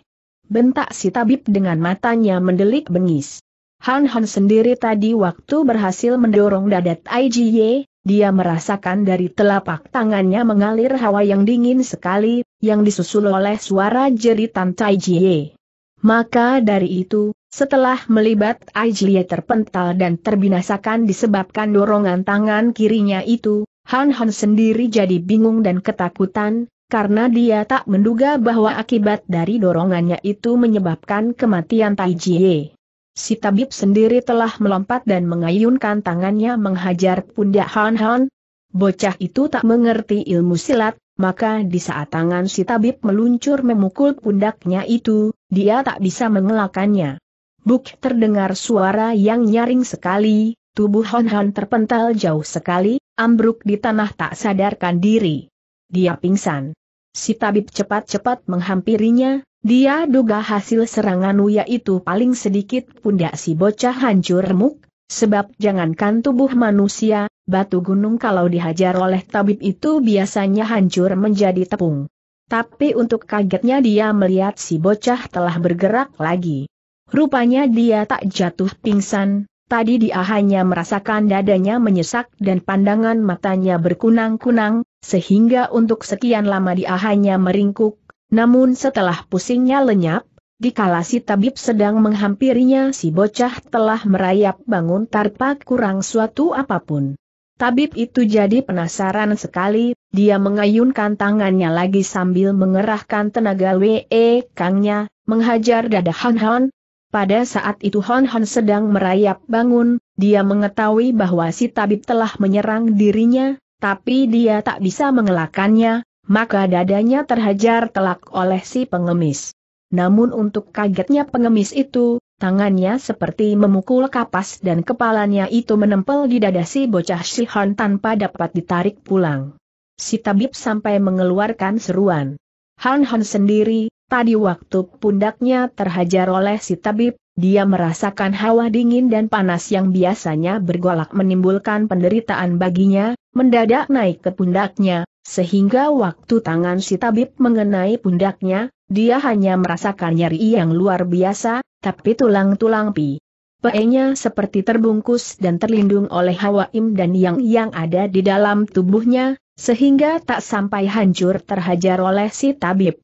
Dan sekarang dikala tabib itu memukul dadanya lagi, dia juga merasakan kedua hawa itu bergerak dengan sendirinya, sehingga waktu tangan si tabib mengenai dadanya, dia tak merasakan sesuatu apa pun, malah tangan si tabib menempel pada dadanya, sehingga Han Han jadi heran, dia duga si tabib sedang menggunakan ilmu siluman. Tabib jahat. Bentak si bocah si Han ini mendongkol. Kau terlalu bengis sekali dan Han Han menggerakkan tangannya untuk menjotos perut si tabib. Buk perut tabib itu dapat dihajarnya tanpa pengemis itu dapat mengelakkannya, dan berbareng dengan hajaran tangan bocah si Han ini, Tangan si tabib yang melekat di dada Han Han terlepas, dia menjerit sambil memegangi perutnya, karena dirasakan perutnya itu seperti terhajar oleh godam, keras sekali, sampai melilit dan sakit luar biasa. Han Han ketawa mengejek, bocah ini puas dan melihat keadaan si tabib. Tabib jahat, kau baru merasakan tangan cuan kecilmu ini katanya. Mengejek. Namun belum lagi Han Hon menyelesaikan perkataannya, tiba-tiba si tabib menubruk, lalu merangkul Han Hon dan mencekeknya sedangkan kedua tangan Han Hon ditindihkan dengan dengkulnya, sehingga si bocah jadi tak berdaya. Dengan dicekek lehernya pernapasan si bocah seperti terhenti, dia berusaha meronta, tapi tenaga si tabib besar sekali, maka dari itu, sesaat kemudian, Matt Han Hon jadi berkunang-kunang dan dadanya seperti mau meledak, sebab pernapasannya jadi tersumbat. Han Hon jadi mengeluh di dalam hatinya, dan dia menyesai harus mati di tangan tabib jahat ini. Tapi karena lehernya dicekik keras sekali, si bocah tak berdaya apa-apa, hanya setelah mengeluarkan suara ngeek yang cukup panjang, Han Han tak sadarkan diri. Si tabib mencekik terus dengan sekuat tenaganya, dia bermaksud untuk membinasakan si bocah. Tetapi, di saat yang membahayakan jiwa Han Han, tiba-tiba berkelebat sesosok bayangan, yang begitu sampai, sudah lantas mencengkeram punggung si tabib, lalu melemparkannya ke samping, sehingga si tabib jadi terbanting keras sekali. Sedangkan sosok tubuh yang baru datang itu telah memeriksa keadaan Hon Hon, si tabib jadi terkejut, dia menjerit kesakitan waktu tubuhnya terbanting tapi di samping sakit, dia juga murka. Cepat-cepat bangun berdiri lagi dan mencelat akan menyerang orang yang sedang berjongkok membelakanginya memeriksa keadaan Hon Hon, Tangan si tabib terulur ke punggung orang itu, tapi dengan tenang tanpa menoleh orang itu mengibaskan lengan bajunya, kembali si tabib merasakan serangkum tenaga serangan yang kuat sekali menerjang dirinya, sehingga tanpa ampun lagi tubuhnya terpental dan terbanting lagi. Sedangkan orang itu telah membalikan tubuhnya dengan wajah yang bengis dan waktu si tabib melihat wajah orang, dia jadi manjerit kaget, tubuhnya sampai menggigil. Jiao Pai Jiale serunya gemetar. Dan orang yang baru datang itu Jiao. Pai Jiale KH Usin Hao. Tadi waktu di rumah penginapan, dia hampir tertidur, tapi tiba-tiba di kepalanya berkelebat suatu ingatan. Dia jadi kaget sendirinya sebab sekarang KH Usin Hao baru menyadari, dia telah begitu sembrono menyerahkan Han Hon pada tabib yang tak dikenalnya itu, karena dalam keadaan panik, dia jadi tak dapat berlaku teliti. Coba kalau Han Hon dicelakai tabib itu, bukankah persoalan jadi tambah hebat? Maka dari itu cepat-cepat Sin Hao keluar dari rumah penginapannya itu dan mencari si tabib yang tak diketahui asal-usulnya itu. Karena dia berkepandaian tinggi dan kosen sekali, maka dalam waktu yang singkat, dia telah dapat memutari kampung itu, sampai akhirnya dia memasuki hutan yang ada di pinggir kampung tersebut. Diperolehnya tanda-tanda bahwa si tabib mengambil jalan hutan ini. Dan di saat Sin Hao sampai di situ, dilihatnya Han Han sedang terancam keselamatannya. HMMM, sudah kudaga kau bukan tabib baik-baik kata KHU Sin Hao murka dan tubuhnya mencelat mencengkeram baju si tabib. Siapakah sebenarnya? Mengapa kau mau menipuku tanda seru? Tabib itu ketakutan setengah mati. Ampun Tai Hiap, Xiao Jin hanya menerima perintah dari Tian San Xian Eng kata si tabib dengan suara gemetar. Sin Hao jadi meiengak, wajahnya semakin bengis. Tian San Xian Eng bentaknya.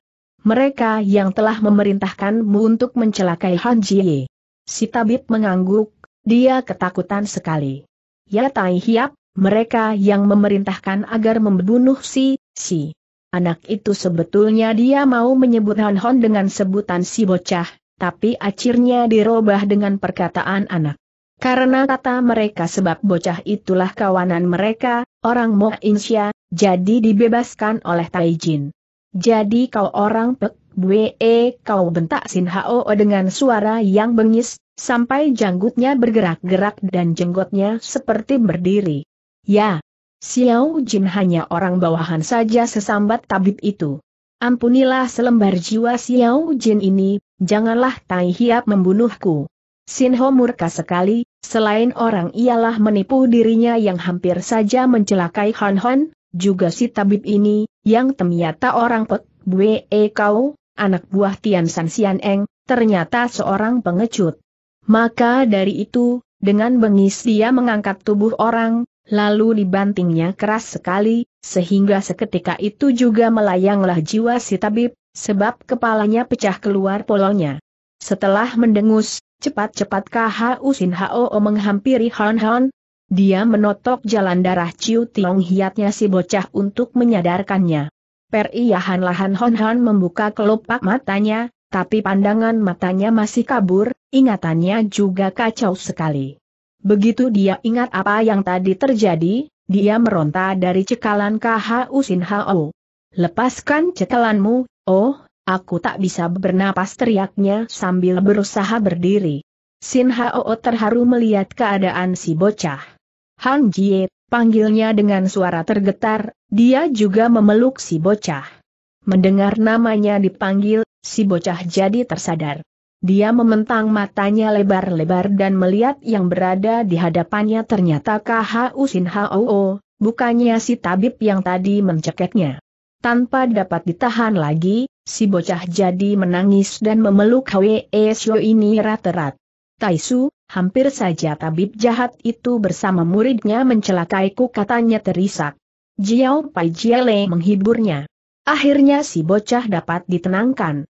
Han Han juga menceritakan bagaimana dia disiksa oleh Tai Jie, sampai akhirnya bocah si anak ayam itu mati didorong olehnya. Si bocah juga menceritakan bagaimana si tabib menghajarnya berulang kali, sampai akhirnya hampir saja dia mati tercekek. Selama mendengarkan cerita si bocah Shihon itu, Jiao Pai Jiale KH Usin Hao jadi heran. Dia juga tak mengerti mengapa sekali didorong saja Tai Jie. Terbinasakan tanda seru. Maka dari itu, setelah Han Hon menuturkan habis segalanya pada Sin Hao, maka si Paderi Shi KHU ini memeriksa keadaan si bocah Tai Jie. Untuk kagetnya, dia melihat dada orang hangus dan tulang-tulang dadanya remuk. Dia seorang acli W.E. Keh, seorang akli tenaga dalam, maka dengan cepat dia tersadar, bahwa itu adalah pengaruh dari hawa dingin dan panas yang berada di dalam tubuh Hon Hon, sehingga karena hawa itu menerobos keluar dari telapak tangan si bocah, maka Tai Jie jadi terhajar mati. Lagi pula Ciu Kia Hiat dan Hiatnya Han Han telah terbuka, sehingga kedua macam tenaga yang berlawanan itu leluasa keluar masuk ke tai yang hiatnya, dan tersalur ke telapak tangannya, menyebabkan kematian Tai Jie. Juga tentang tadi waktu si tabib memukul dada Han Han dan tangannya melekat pada bocah itu sebetulnya bukan apa-apa, hanya karena di tubuh si bocah si Han itu telah mengalir dua tenaga berlawan, LM dan Yang, maka dadanya itu seperti terlindung oleh iapisan baja yang tak akan terembus oleh apa pun maka. Itu, tak heran si tabib jadi mengambil jalan mencekek untuk membinasakan Hon Hon, sebab dia mengetahui, kalau dia menghajar si bocah, hal itu tak akan membawa kefadahannya. KHU Sin HOO yang telah melihat mayat IJE, jadi menarik napas. Dia berduka sekali. Coba kalau jalan darah Ciu Kiahianya si bocah Sihan ini dapat ditutup kembali dan penyakit yang mengeram di dalam dirinya disebabkan hawa panas dan dingin itu dapat disembuhkan, maka si bocah akan menjadi manusia yang luar biasa sekali. Dalam usia 10 tahun, Han Han seperti telah mempunyai latihan tenaga WE Kang selama belasan tahun, tapi sayangnya ia, penyakit yang mengeram di tubuh si bocah sangat sulit disembuhkan, pula ciu kiahiat si bocah tak dapat ditutup kembali, sehingga kalau Hawa Im dan yang sedang mengamuk, kedua tenaga negatif dan positif itu akan membahayakan jiwa si bocah sendiri.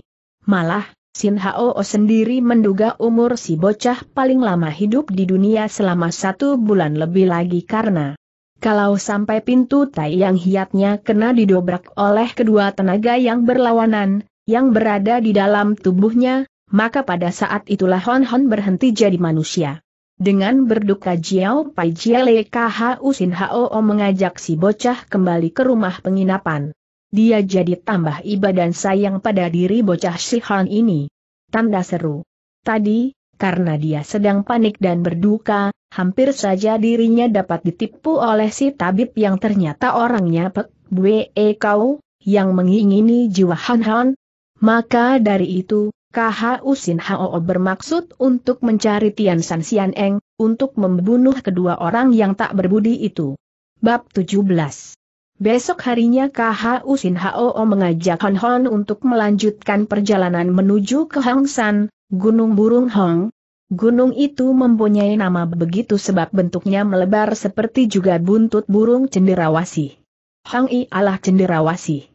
Sin Hao mengajak Han Han menuju ke Gunung Cenderawasi itu ialah untuk berkumpul dengan enam jago luar biasa lainnya, karena setiap lima tahun sekali, di malaman Cap Go di Pulau Sepuluh, ketujuh jago luar biasa yang menguasai daratan Tionggoan mengadakan pertemuan di gunung itu.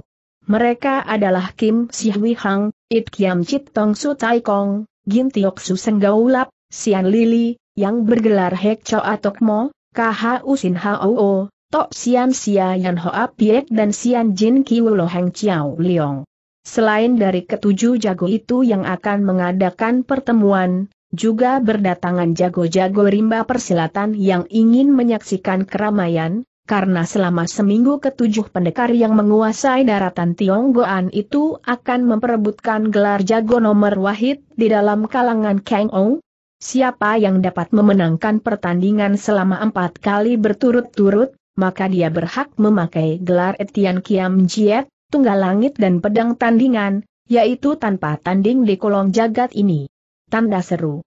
Sekarang adalah Peh Gue E Cap Jiet, bulan 8 tanggal 12, jadi waktu perjalanan mereka ke Gunung Hangsan, yaitu Gunung Cenderawasih masih mempunyai waktu dua bulan.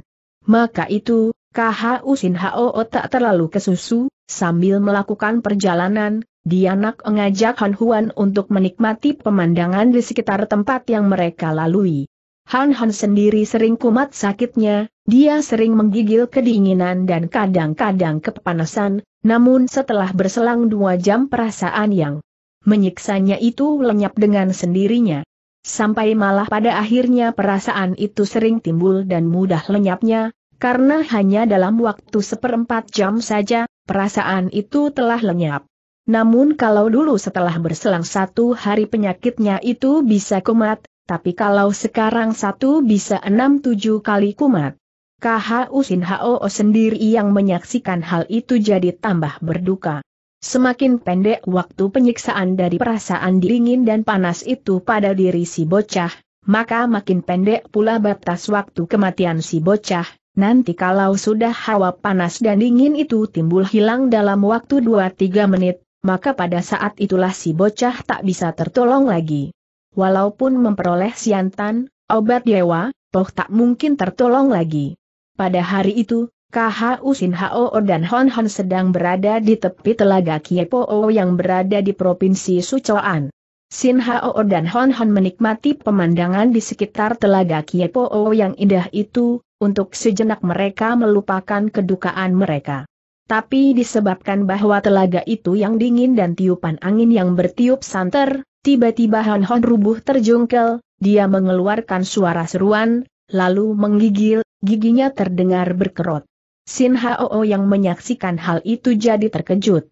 Cepat-cepat dia memeriksa keadaan si bocah. Dilihatnya wajah Hon Hon telah berubah hijau bersemu hitam. Hati Sin Hao jadi mencelos, karena biasanya kalau muka orang telah berubah hijau bersemu hitam, maka jiwanya sudah tak dapat tertolong lagi. Maka itu, cepat-cepat Sin Hao menotok kedua jalan darah yang ada di iga si bocah, kemudian menepuk lambung Hon Hon. Hal itu untuk mengurangi penderitaan yang diderita oleh si bocah, rasa dingin dan panas masih mengaduk di dalam diri si bocah Shihon itu, sehingga Sin Hao jadi gugup sekali. Untuk membawa ke kota, terang jauh, karena kota Kiepoan, terletak 17 li dari Kiepo ini, maka itu, KH Sin Hao meletakkan si bocah di rumput-rumput, kemudian dia mengambil selimutnya, dibalutnya tubuh Hon Hon, sehingga dalam waktu yang singkat dia telah lenyap, memang aneh, penyakitnya itu semakin cepat datang, dan juga semakin cepat sembuh. Han Han girang memperoleh kenyataan bahwa sekarang akhir-akhir ini kalau kedua hawa negatif dan positif itu sedang mengamuk, maka tak usah memakan waktu yang terlalu lama, perasaan yang menyebabkan si bocah menderita, akan lenyap dengan cepat. Namun bagi KHU Sin Hao, hal itu membuatnya tambah berduka. Karena umur si bocah semakin pendek, kesempatan hidup si bocah tinggal sedikit saja. Namun KHU Sin Hao tak mengatakan hal itu kepada Han Han dan untuk menyenangkan hati si bocah dalam hidupnya yang terakhir itu KHU Sin Hao sering mengajaknya mengelilingi tempat-tempat indah.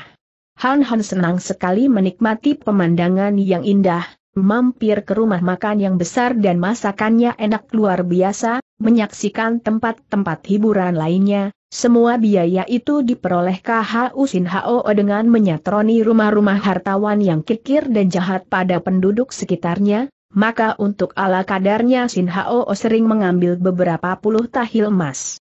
Tanda seru.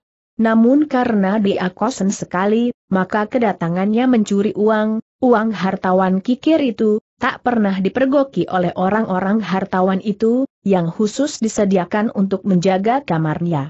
Tapi tak urung Sin Hao tetap saja dapat mencomot uang mereka dengan mudah. HN Hon sering menanyakan kepada KHU Sin Hao mengenai uang yang berjumlah banyak yang selalu dipakai oleh Jiao Pai Jiale dengan kerok yang boros dan sering memberikan persenan kepada para jongos dan pelayan. Sehingga banyak rumah makan yang menanti-nanti kedatangan KHU Sin Hao lagi, yang dianggap oleh mereka sebagai badan yang royal sekali. Sin Hao sendiri sering tersenyum kalau si bocah menanyakan soal penghasilannya. Karena KHU Sin Hao memang sudah biasa sejak dia mulai mengembara kalau kurang perbekalan, tentu menyatroni rumah pembesar jahat atau rumah hartawan kikir dan bengis. Dan memang kenyataan, pada saat itu orang-orang yang mengembara di dalam dunia Kang Ou, kalau kurang perongkosan, maka mereka meminta bantuan si pendeta Shikahu ini dan umumnya selalu dapat saja, karena orang Shikahu ini terbakat tangannya terhadap para sahabatnya. Melihat si bocah telah tersadar, lamunan KHU Sin Hao buyar, cepat-cepat dia mengeluarkan sebutir pil yang berwarna hitam atau kecoklat-coklatan tua, menyerupai warna hitam, dimasukkan ke dalam mulut Han Han Yao lalu ditelan oleh si bocah. Setelah menelan pil itu, Han Han merasakan tubuhnya jauh lebih segar, maka dari itu, dia sudah lantas bisa melompat berdiri. Terima kasih Taisu katanya sambil menekuk kedua kakinya berlutut. Di hadapan Hwe Shou itu, entah berapa kali aku telah merepotkanmu. Membikin susah Taisu saja. KHU Sin Hao telah tertawa penuh kasih sayang. Bangunlah Han Hon katanya sambil memimpin bangun si bocah. Jangan terlalu banyak peradatan. Lagi pula, apa yang kulakukan semua itu ialah untuk menjaga kesehatanmu, bukan bermaksud apa-apa. Han Han mengangguk. Ya Taisu walaupun begitu, tapi aku tetap sajalah merepotkan Taisu, sehingga perjalanan Taisu agak terlambat. Mendengar perkataan si bocah Shihar itu, dia ketawa gelak-gelak sampai tubuhnya tergoncang. Han Jie kau terlalu sungkan. Kata Jiao Pai Jiele ketawa. Berdirilah. Tanda seru janganlah kau membuatku jadi tak enak hati karena apa yang kulakukan bukanlah suatu perbuatan yang dapat disebut sebagai budi, aku hanya melakukan kewajibanku sebagai seorang beribadat yang harus saling tolong menolong kepada semua umat manusia yang sedang mengalami kesulitan atau kesengsaraan hidup. Han Han berdiri, dia lalu membungkukkan tubuhnya menjurap pada Jiao Pai Jiale KH Usin Hao. Taisu, mudah-mudahan budi amal kebaikanmu mendapat berkah dan pembalasan dari Tian kata si bocah. Mungkin di dalam dunia yang fana ini, aku tak bisa membalas budi kebaikan Taisu yang telah diberikan kepadaku, mudah-mudahan saja nanti di sorga aku bisa membalasnya. Kembali jauh Pai Jiale ketawa. Dia menggeleng-gelengkan kepalanya. Han Jie sudahlah. Mari kita melanjutkan perjalanan kita katanya. Han Han mengangguk, lalu mengikuti KHU Sin Hao meninggalkan telaga Kiepo Baru saja si kakek dan si bocah berjalan beberapa meter, tiba-tiba terdengar suara teriakan Chong Wei Chiong Piao Tau melintang empat meminta jalan. Chong Wei Chiong Piao Tau melintang empat meminta jalan. Han Hon heran mendengar teriakan-teriakan itu, dia menoleh kepada Sin. Ho, apa yang dilakukan orang itu, Taisu tanyanya. Mereka berteriak tak. Hentinya, KH Usin Hoo ketawa. Itulah iring-iringan piau dia menerangkan. Dan iring-iringan piau ini berasal, dari Chong Wie Piao Kiok yang dipimpin oleh Chong Sam Chia, bergelar Sam Chu Sam Sim, atau tiga golok tiga hati. Itulah menandakan kelihayan. Orang Si Chong itu, karena goloknya dapat bergerak cepat sekali-sekali gerak dapat membolongi dada tiga musuhnya. Hebat Chiong Piao Tau itu memuji Han Han. Itulah, kalau dilihat dari kepandaiannya itu, walaupun luar biasa, tapi toh masih banyak yang lebih kosen. Tapi disebabkan Chiong Piao Tau orangnya terbuka dan senang bersahabat, sehingga orang-orang Liok Lim, rimba hijau, jarang yang mempunyai niat untuk mengganggu iring-iringan Piao yang dikawal oleh Chong Wie Piao Kliok. Malah pada akhir-akhir ini, kalau Piao yang diantar itu tak meliputi jumlah yang besar Chiong Piao tahu malah tak ikut serta, dia hanya mewakilkan beberapa orang wakilnya dengan membawa kartu namanya dan Piao akan tiba di tempat dalam keadaan selamat, karena tak akan ada orang yang berani mengganggunya. Pada saat itu masih terdengar terus teriaknya Chong Wei Chiong Piao tahu melintang empat meminta jalan, melintang empat meminta jalan suara. Teriakan itu semakin lama semakin mendekat, sampai akhirnya Han Han dapat melihat iring-iringan piau yang berderet panjang itu, kira-kira dikawal oleh 25 orang piau itu dengan pakaian yang kotor dekil, karena telah melakukan peijayanan yang jauh sekali. Waktu lewat di dekat KH Usin Ho Ode Ahon Han, semua orang-orang piau itu melirik dan menatap curiga pada kakek pendeta KH Usin Ho. Tapi, Salah seorang telah berteriak lagi, Chong Wei Chiong Piao tahu melintang empat meminta jalan, melintang empat meminta jalan Chong. Wei Chiong Piao tahu melintang empat meminta jalan. Suara teriakan itu semakin lama semakin perlahan, karena iring-iringan kereta barang bergerak terus. Jadi tegasnya, iring-iringan Piao itu seperti meninggalkan KH Usin Hao dan Hon Hon, mereka mengambil jalan jurusan timur. Tiba-tiba, baru saja orang-orang Piao Tau Chong Wei Chong Piao Tau itu lewat, tiba-tiba terdengar derap kaki kuda. Waktu KH Usin Hao dan Hon Han menoleh, maka tampak sepasang kuda, dengan di atasnya tampak dua orang berwajah bengis, sedang mencongklang ke arah mereka, berhenti di dekat si kakek dan si bocil. Mungkin kedua orang berwajah bengis ini menganggap KH Usin Hao hanyalah seorang beribadat, seorang padri miskin, lagi pula Hon Hon yang telah dianggapnya sebagai pengemis cilik. Itulah sebabnya kedua orang itu tak memperhatikan KH Usin Hao dan Hon Hon, mereka hanya mengawasi menghilangnya kereta-kereta Piao yang terakhir di tikungan sebelah kanan lalu salah seorang di antara mereka mengeluarkan semacam bahan kembang api. Kemudian dibakar dan dilemparkannya ke atas. Kembang api itu meluncur cepat sekali, Lalu tahu-tahu kembang api itu telah meledak dan pecah menimbulkan sinar di udara.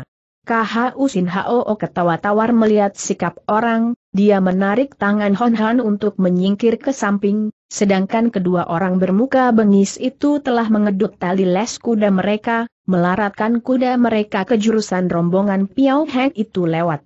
Dalam waktu sebentar saja, mereka telah ienyap, yang tertinggal hanyalah debu yang mengepul tinggi dan baru saja kedua penunggang bermuka bengis itu berlalu, dari jurusau mana tadi mereka muncul, telah tampak tiga penunggang lainnya. Wajah mereka juga bengis-bengis dan mati mereka berkilat melihat KH Usin Hoo dan si bocah itu, namun mereka tak memperdulikan kedua orang itu, mereka hanya mendengus dan melarikan terus kuda tunggangan mereka. Dalam waktu yang singkat, mereka jaga telah ienyap ditelan oleh mengepulnya debu yang membubung tinggi. Begitulah berturut-turut muncul beberapa penunggang kuda lainnya, yang semuanya bersikap seperti penunggang-penunggang kuda yang terlebih dahulu.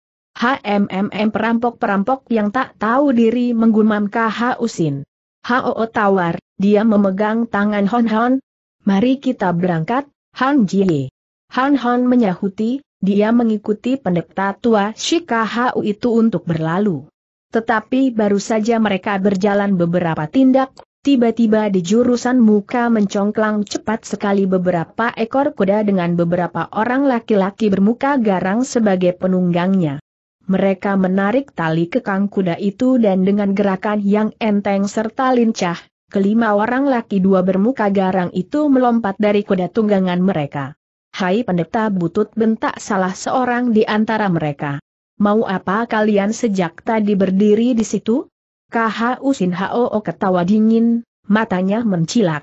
Jalan ini jalan umum, bukan dibuat oleh Chow Chong Mu dia balas membentak dengan suara tawar. Mau apa kalian terlalu usil mengurusi diriku? Wajah kelima orang itu berubah, malah yang tadi bertanya, telah berjingkrak. Pendeta butut bentaknya bengis. Apakah kau tak mengenai kematian? HMMM, bagi Elo Olap kematian adalah biasa, kalau memang kalian mempunyai kemampuan untuk membunuh Elo Olap, bunuhlah tanda seru menyahuti Jiao Pai Jiale KH Usin Hao nyaring, dia juga ketawa dingin. Wajah kelima orang itu jadi berubah lagi, dan yang tadi membentak sudah mencelat tinggi, Tangan kanannya diulurkan menyerang si Hwee Shio dengan jurus Kim Leong Tem Jiao atau naga emas mengulurkan cakarnya, dia bermaksud untuk mencengkeram kepala KH Usin Hoo yang gundul. Tanpa melepas cekalannya pada tangan Hon Hon, KH Usin Hoo menggunakan tangan kirinya untuk menyentil dan dalam sentilan Uya, mengandung hawa murni dari tenaga Wee Kang yang kuat sekali. Maka itu, hebat kesudahannya. Dengan mengeluarkan suara jeritan, tubuh orang bermuka bengis itu yang sedang melayang di udara seperti tertahan oleh gelombang tenaga yang kuat sekali, tahu-tahu tubuhnya itu terpukul mental dan ambruk di tanah. Napasnya seketika juga terhenti di tenggorokan, jiwanya melayang-melayang menghadap Giam Loong. Keempat kawannya yang juga rata-rata bermuka bengis, jadi terkejut, mereka sampai memandang kesima pada mayat kawan mereka itu, yang sudah membujur kejang. KH Usin Hoo telah ketawa dingin lagi. Pergilah kalian sebelum aku mempunyai niat untuk membunuh. Kata si Hwee Shou tawar. Seketika itu juga keempat orang bermuka bengis itu jadi tersadar, mati mereka jadi mencilak bengis. Hwee Shou gundul keparat, siapa kau yang telah berani membunuh Paito aku kami? Bentak salah seorang di antara keempat orang bermuka bengis itu dengan suara yang galak sekali. Walaupun diajari melihat paito akonya dirubuhkan si padri hanya satu kali sentilan saja, tapi toh dia berani, karena dia berempat, dan orang ini yakin, kalau dikeroyok, tentu Hwe itu akan dapat dibunuhnya. Kau menanyakan namaku, apakah kalian sudah berpikir untuk mampus bentak KH Usin Hoo bengis? HMMM diberi jalan hidup, tapi memilih kematian. Tanda seru. Keempat orang itu gusar sekali, mereka berteriak membentak galak dan mereka bukan hanya membentak, karena keempat orang ini telah melompat untuk menyerang sekali berbareng. Kurcaci yang tak tahu gelagat gelumam KH Usin Liu Tawar, dia tak mengelakkan serangan keempat orang itu, juga dia tak melepaskan cekalan tangan kanannya pada Han Han, hanya tangan kirinya bergerak cepat dan bertenaga, dia membuat setengah lingkaran, sehingga tangan kiri si pendeta ini melengkung ke dalam, lalu dengan mengeluarkan suara bentakan yang perlahan, tangannya itu menyentil empat kali sekelilingnya terdengar suara jeritan yang menyayatkan. Tampak tubuh keempat orang penyerang KH Usin Hao itu terpelanting dan ambruk di tanah tanpa bergeming lagi. Mereka juga sudah lantas putus jiwa di kala tangan kiri KH Usin Hao itu menyentil dengan disertai oleh tenaga W.E. Kang. Han Han yang melihat hal itu, jadi menggidik. Taisu, apakah, apakah tak lebih baik kalau tadi keempat orang ini diberi hajaran saja tanyanya sambil mengerutkan alisnya. KH Usin Hoo tertawa gelak-gelak mendengar pertanyaan bocah si Han ini. Han Jie tanda seru katanya dengan suara yang berubah lembut. Mereka ini sangat jahat, maka kalau tak dimampusi, tentu di belakang hari akan membuat kesulitan pada masyarakat yang lemah tak berdaya. Mereka adalah perampok-perampok yang akan membegal Piao Heng tadi. Han Han tak menyahuti, dia hanya mengawasi kelima mayat orang yang bermuka, bengis itu yang menggeletak kejang di tanah. Mari kita pergi, Han Jie ajak KH Usin Hao sambil menuntun tangan si bocah. Han Han mengangguk saja, mereka lalu meninggalkan kelima mayat orang-orang yang bermuka bengis itu, juga meninggalkan kelima binatang tunggangan kelima orang itu yang kala itu sedang memakan rerumputan yang terdapat di situ. Belum berselang lama KH Usin Hao dan Hon Hon meninggalkan tempat tersebut, tampak mencongklang pesat sekali dua ekor kuda. Ternyata penunggang itu orang yang tadi melepaskan kembang api. Mereka dengan cepat tiba di tempat kelima mayat itu menggeletak. Untuk kaget mereka, segera juga mereka mengenali bahwa kelima mayat itu adalah kawan mereka. Dengan cepat mereka melompat turun dari kuda tunggangan mereka itu, memeriksa kelima mayat yang terbujur kejang. Tak ada tanda-tanda, bekas luka pada tubuh mereka ini, Cieto aku kata salah seorang di antara kedua panunggang kuda itu dengan seruan herannya. Aneh. Mereka binasa dengan mata mendelik dan mulut terpentang lebar. Seakan-akan sebelum menemui kebinasaan, mereka berlima menderita kesakitan yang hebat. Orang yang dipanggil Cieto Ako itu bernama Cie Xiang, mengerutkan kedua alisnya. Inilah aneh tanda seru gumamnya, dia juga tak kalah herannya. Siapa yang telah turun tangan membunuh mereka dan Cie Xiang memeriksa kelima mayat kawannya itu, juga dia tak memperoleh tanda-tanda luka pada kelima mayat itu, Sampai dia pun tak mengerti dengan care apa kelima kawannya itu terbinasa. Bo te e tanda seru katanya kemudian sambil berdiri. Mari kita melaporkan hal ini kepada Hwe Lo Tangkeh. Kawannya yang dipanggil Bo te itu bernama Bocin, dia mengangguk. Ya, kita harus memberikan laporan kepada Hwe Lo Tangkeh sahutnya. Di dalam hal ini tentu ada sesuatu yang luar biasa, tentu ada orang kosen yang membantu Wicong Wie Piao Kiok secara menggelap.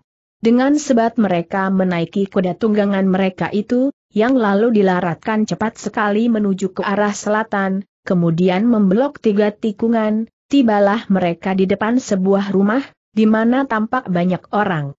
Cepat sekali Bocin dan Cies yang melompat turun dari kuda tunggangan mereka itu.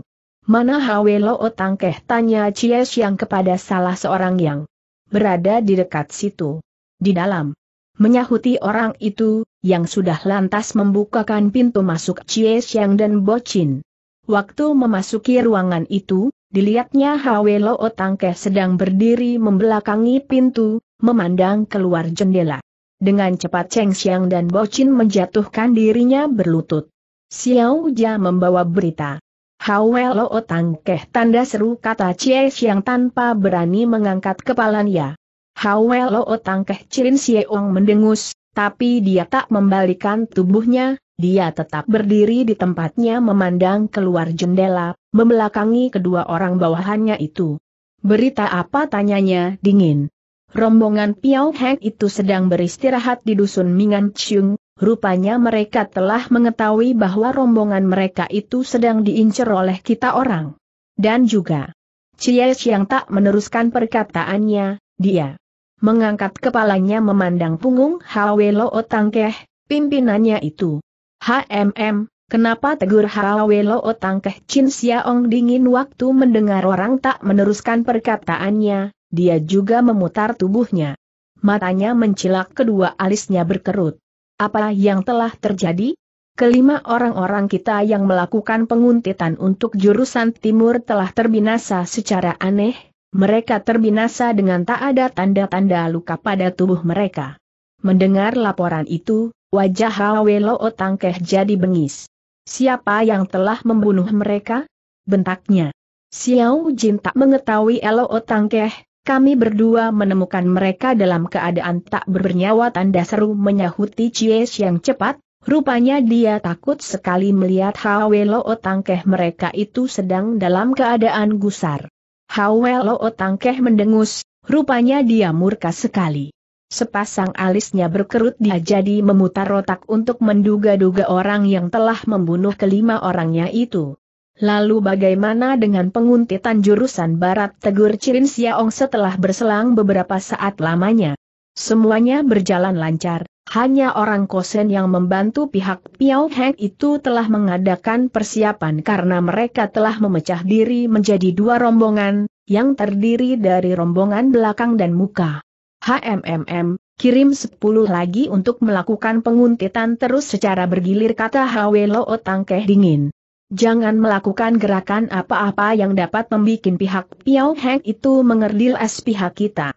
Sebelum ada perintah dariku, tak seorang pun kuizinkan untuk mencoba dua melakukan penyerangan. Baik Elo Tangkeh tanda seru menyahuti Cie Xiang dan Bocin hampir berbareng.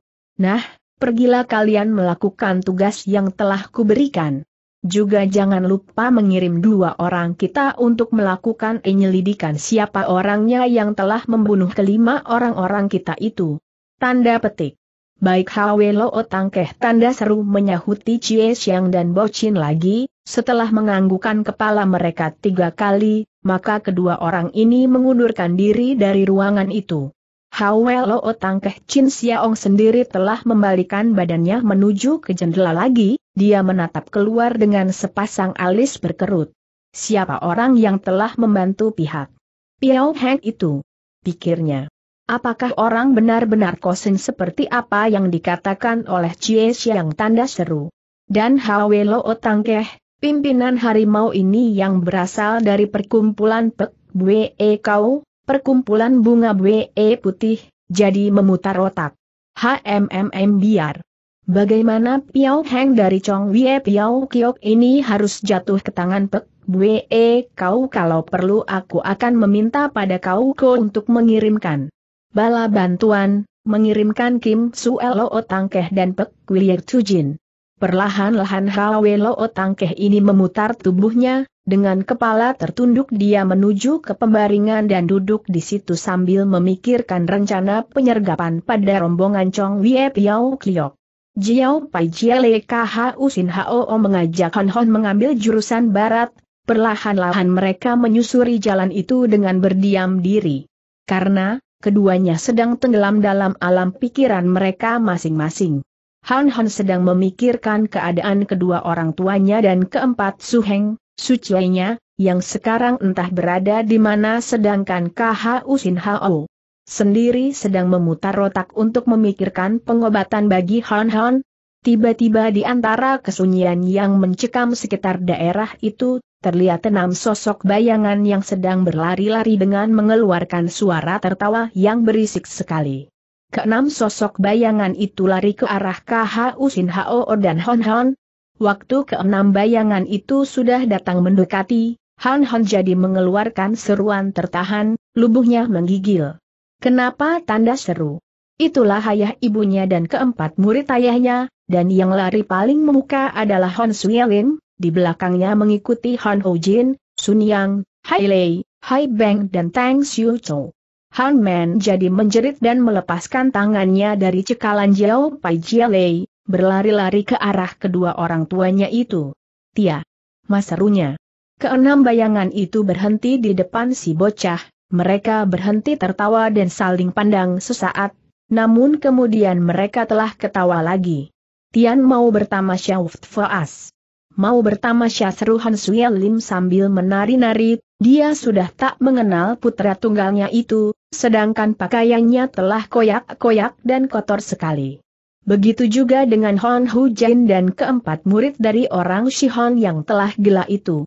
Ya, ya, ya, Giok Li akan ikut serta dengan Tian Hon Hujin juga berteriak-teriak sambil tertawa-tawa dan menari. Matanya jelalatan menyeramkan sekali. Melihat itu, Han Hon menubruk ibunya untuk memeluk Han Hujin, dia juga menangis sedih sekali. Ma, ma, ini aku, Han Jie tanda seru teriaknya bagaikan kalap. Ini aku ma. Kenapa kau titik? Kenapa kau ma tanda seru? Han Hujin sendiri begitu melihat si bocah menubruk dan memeluk dirinya, jadi berseru marah. Bocah kurang ajar, kau berani berlaku ceriwis pada Giok Li dan karena dia sudah tak dapat mengenali putranya, Diangkat tangannya, sekali tepak saja pada bahu si bocah tubuh Hon Hon terpental dan ambruk di tanah sambil mengerang sakit. Namun bocah ini kalap sekali, dia menangis kencang dan melompat bangun lagi akan menubruk ibunya.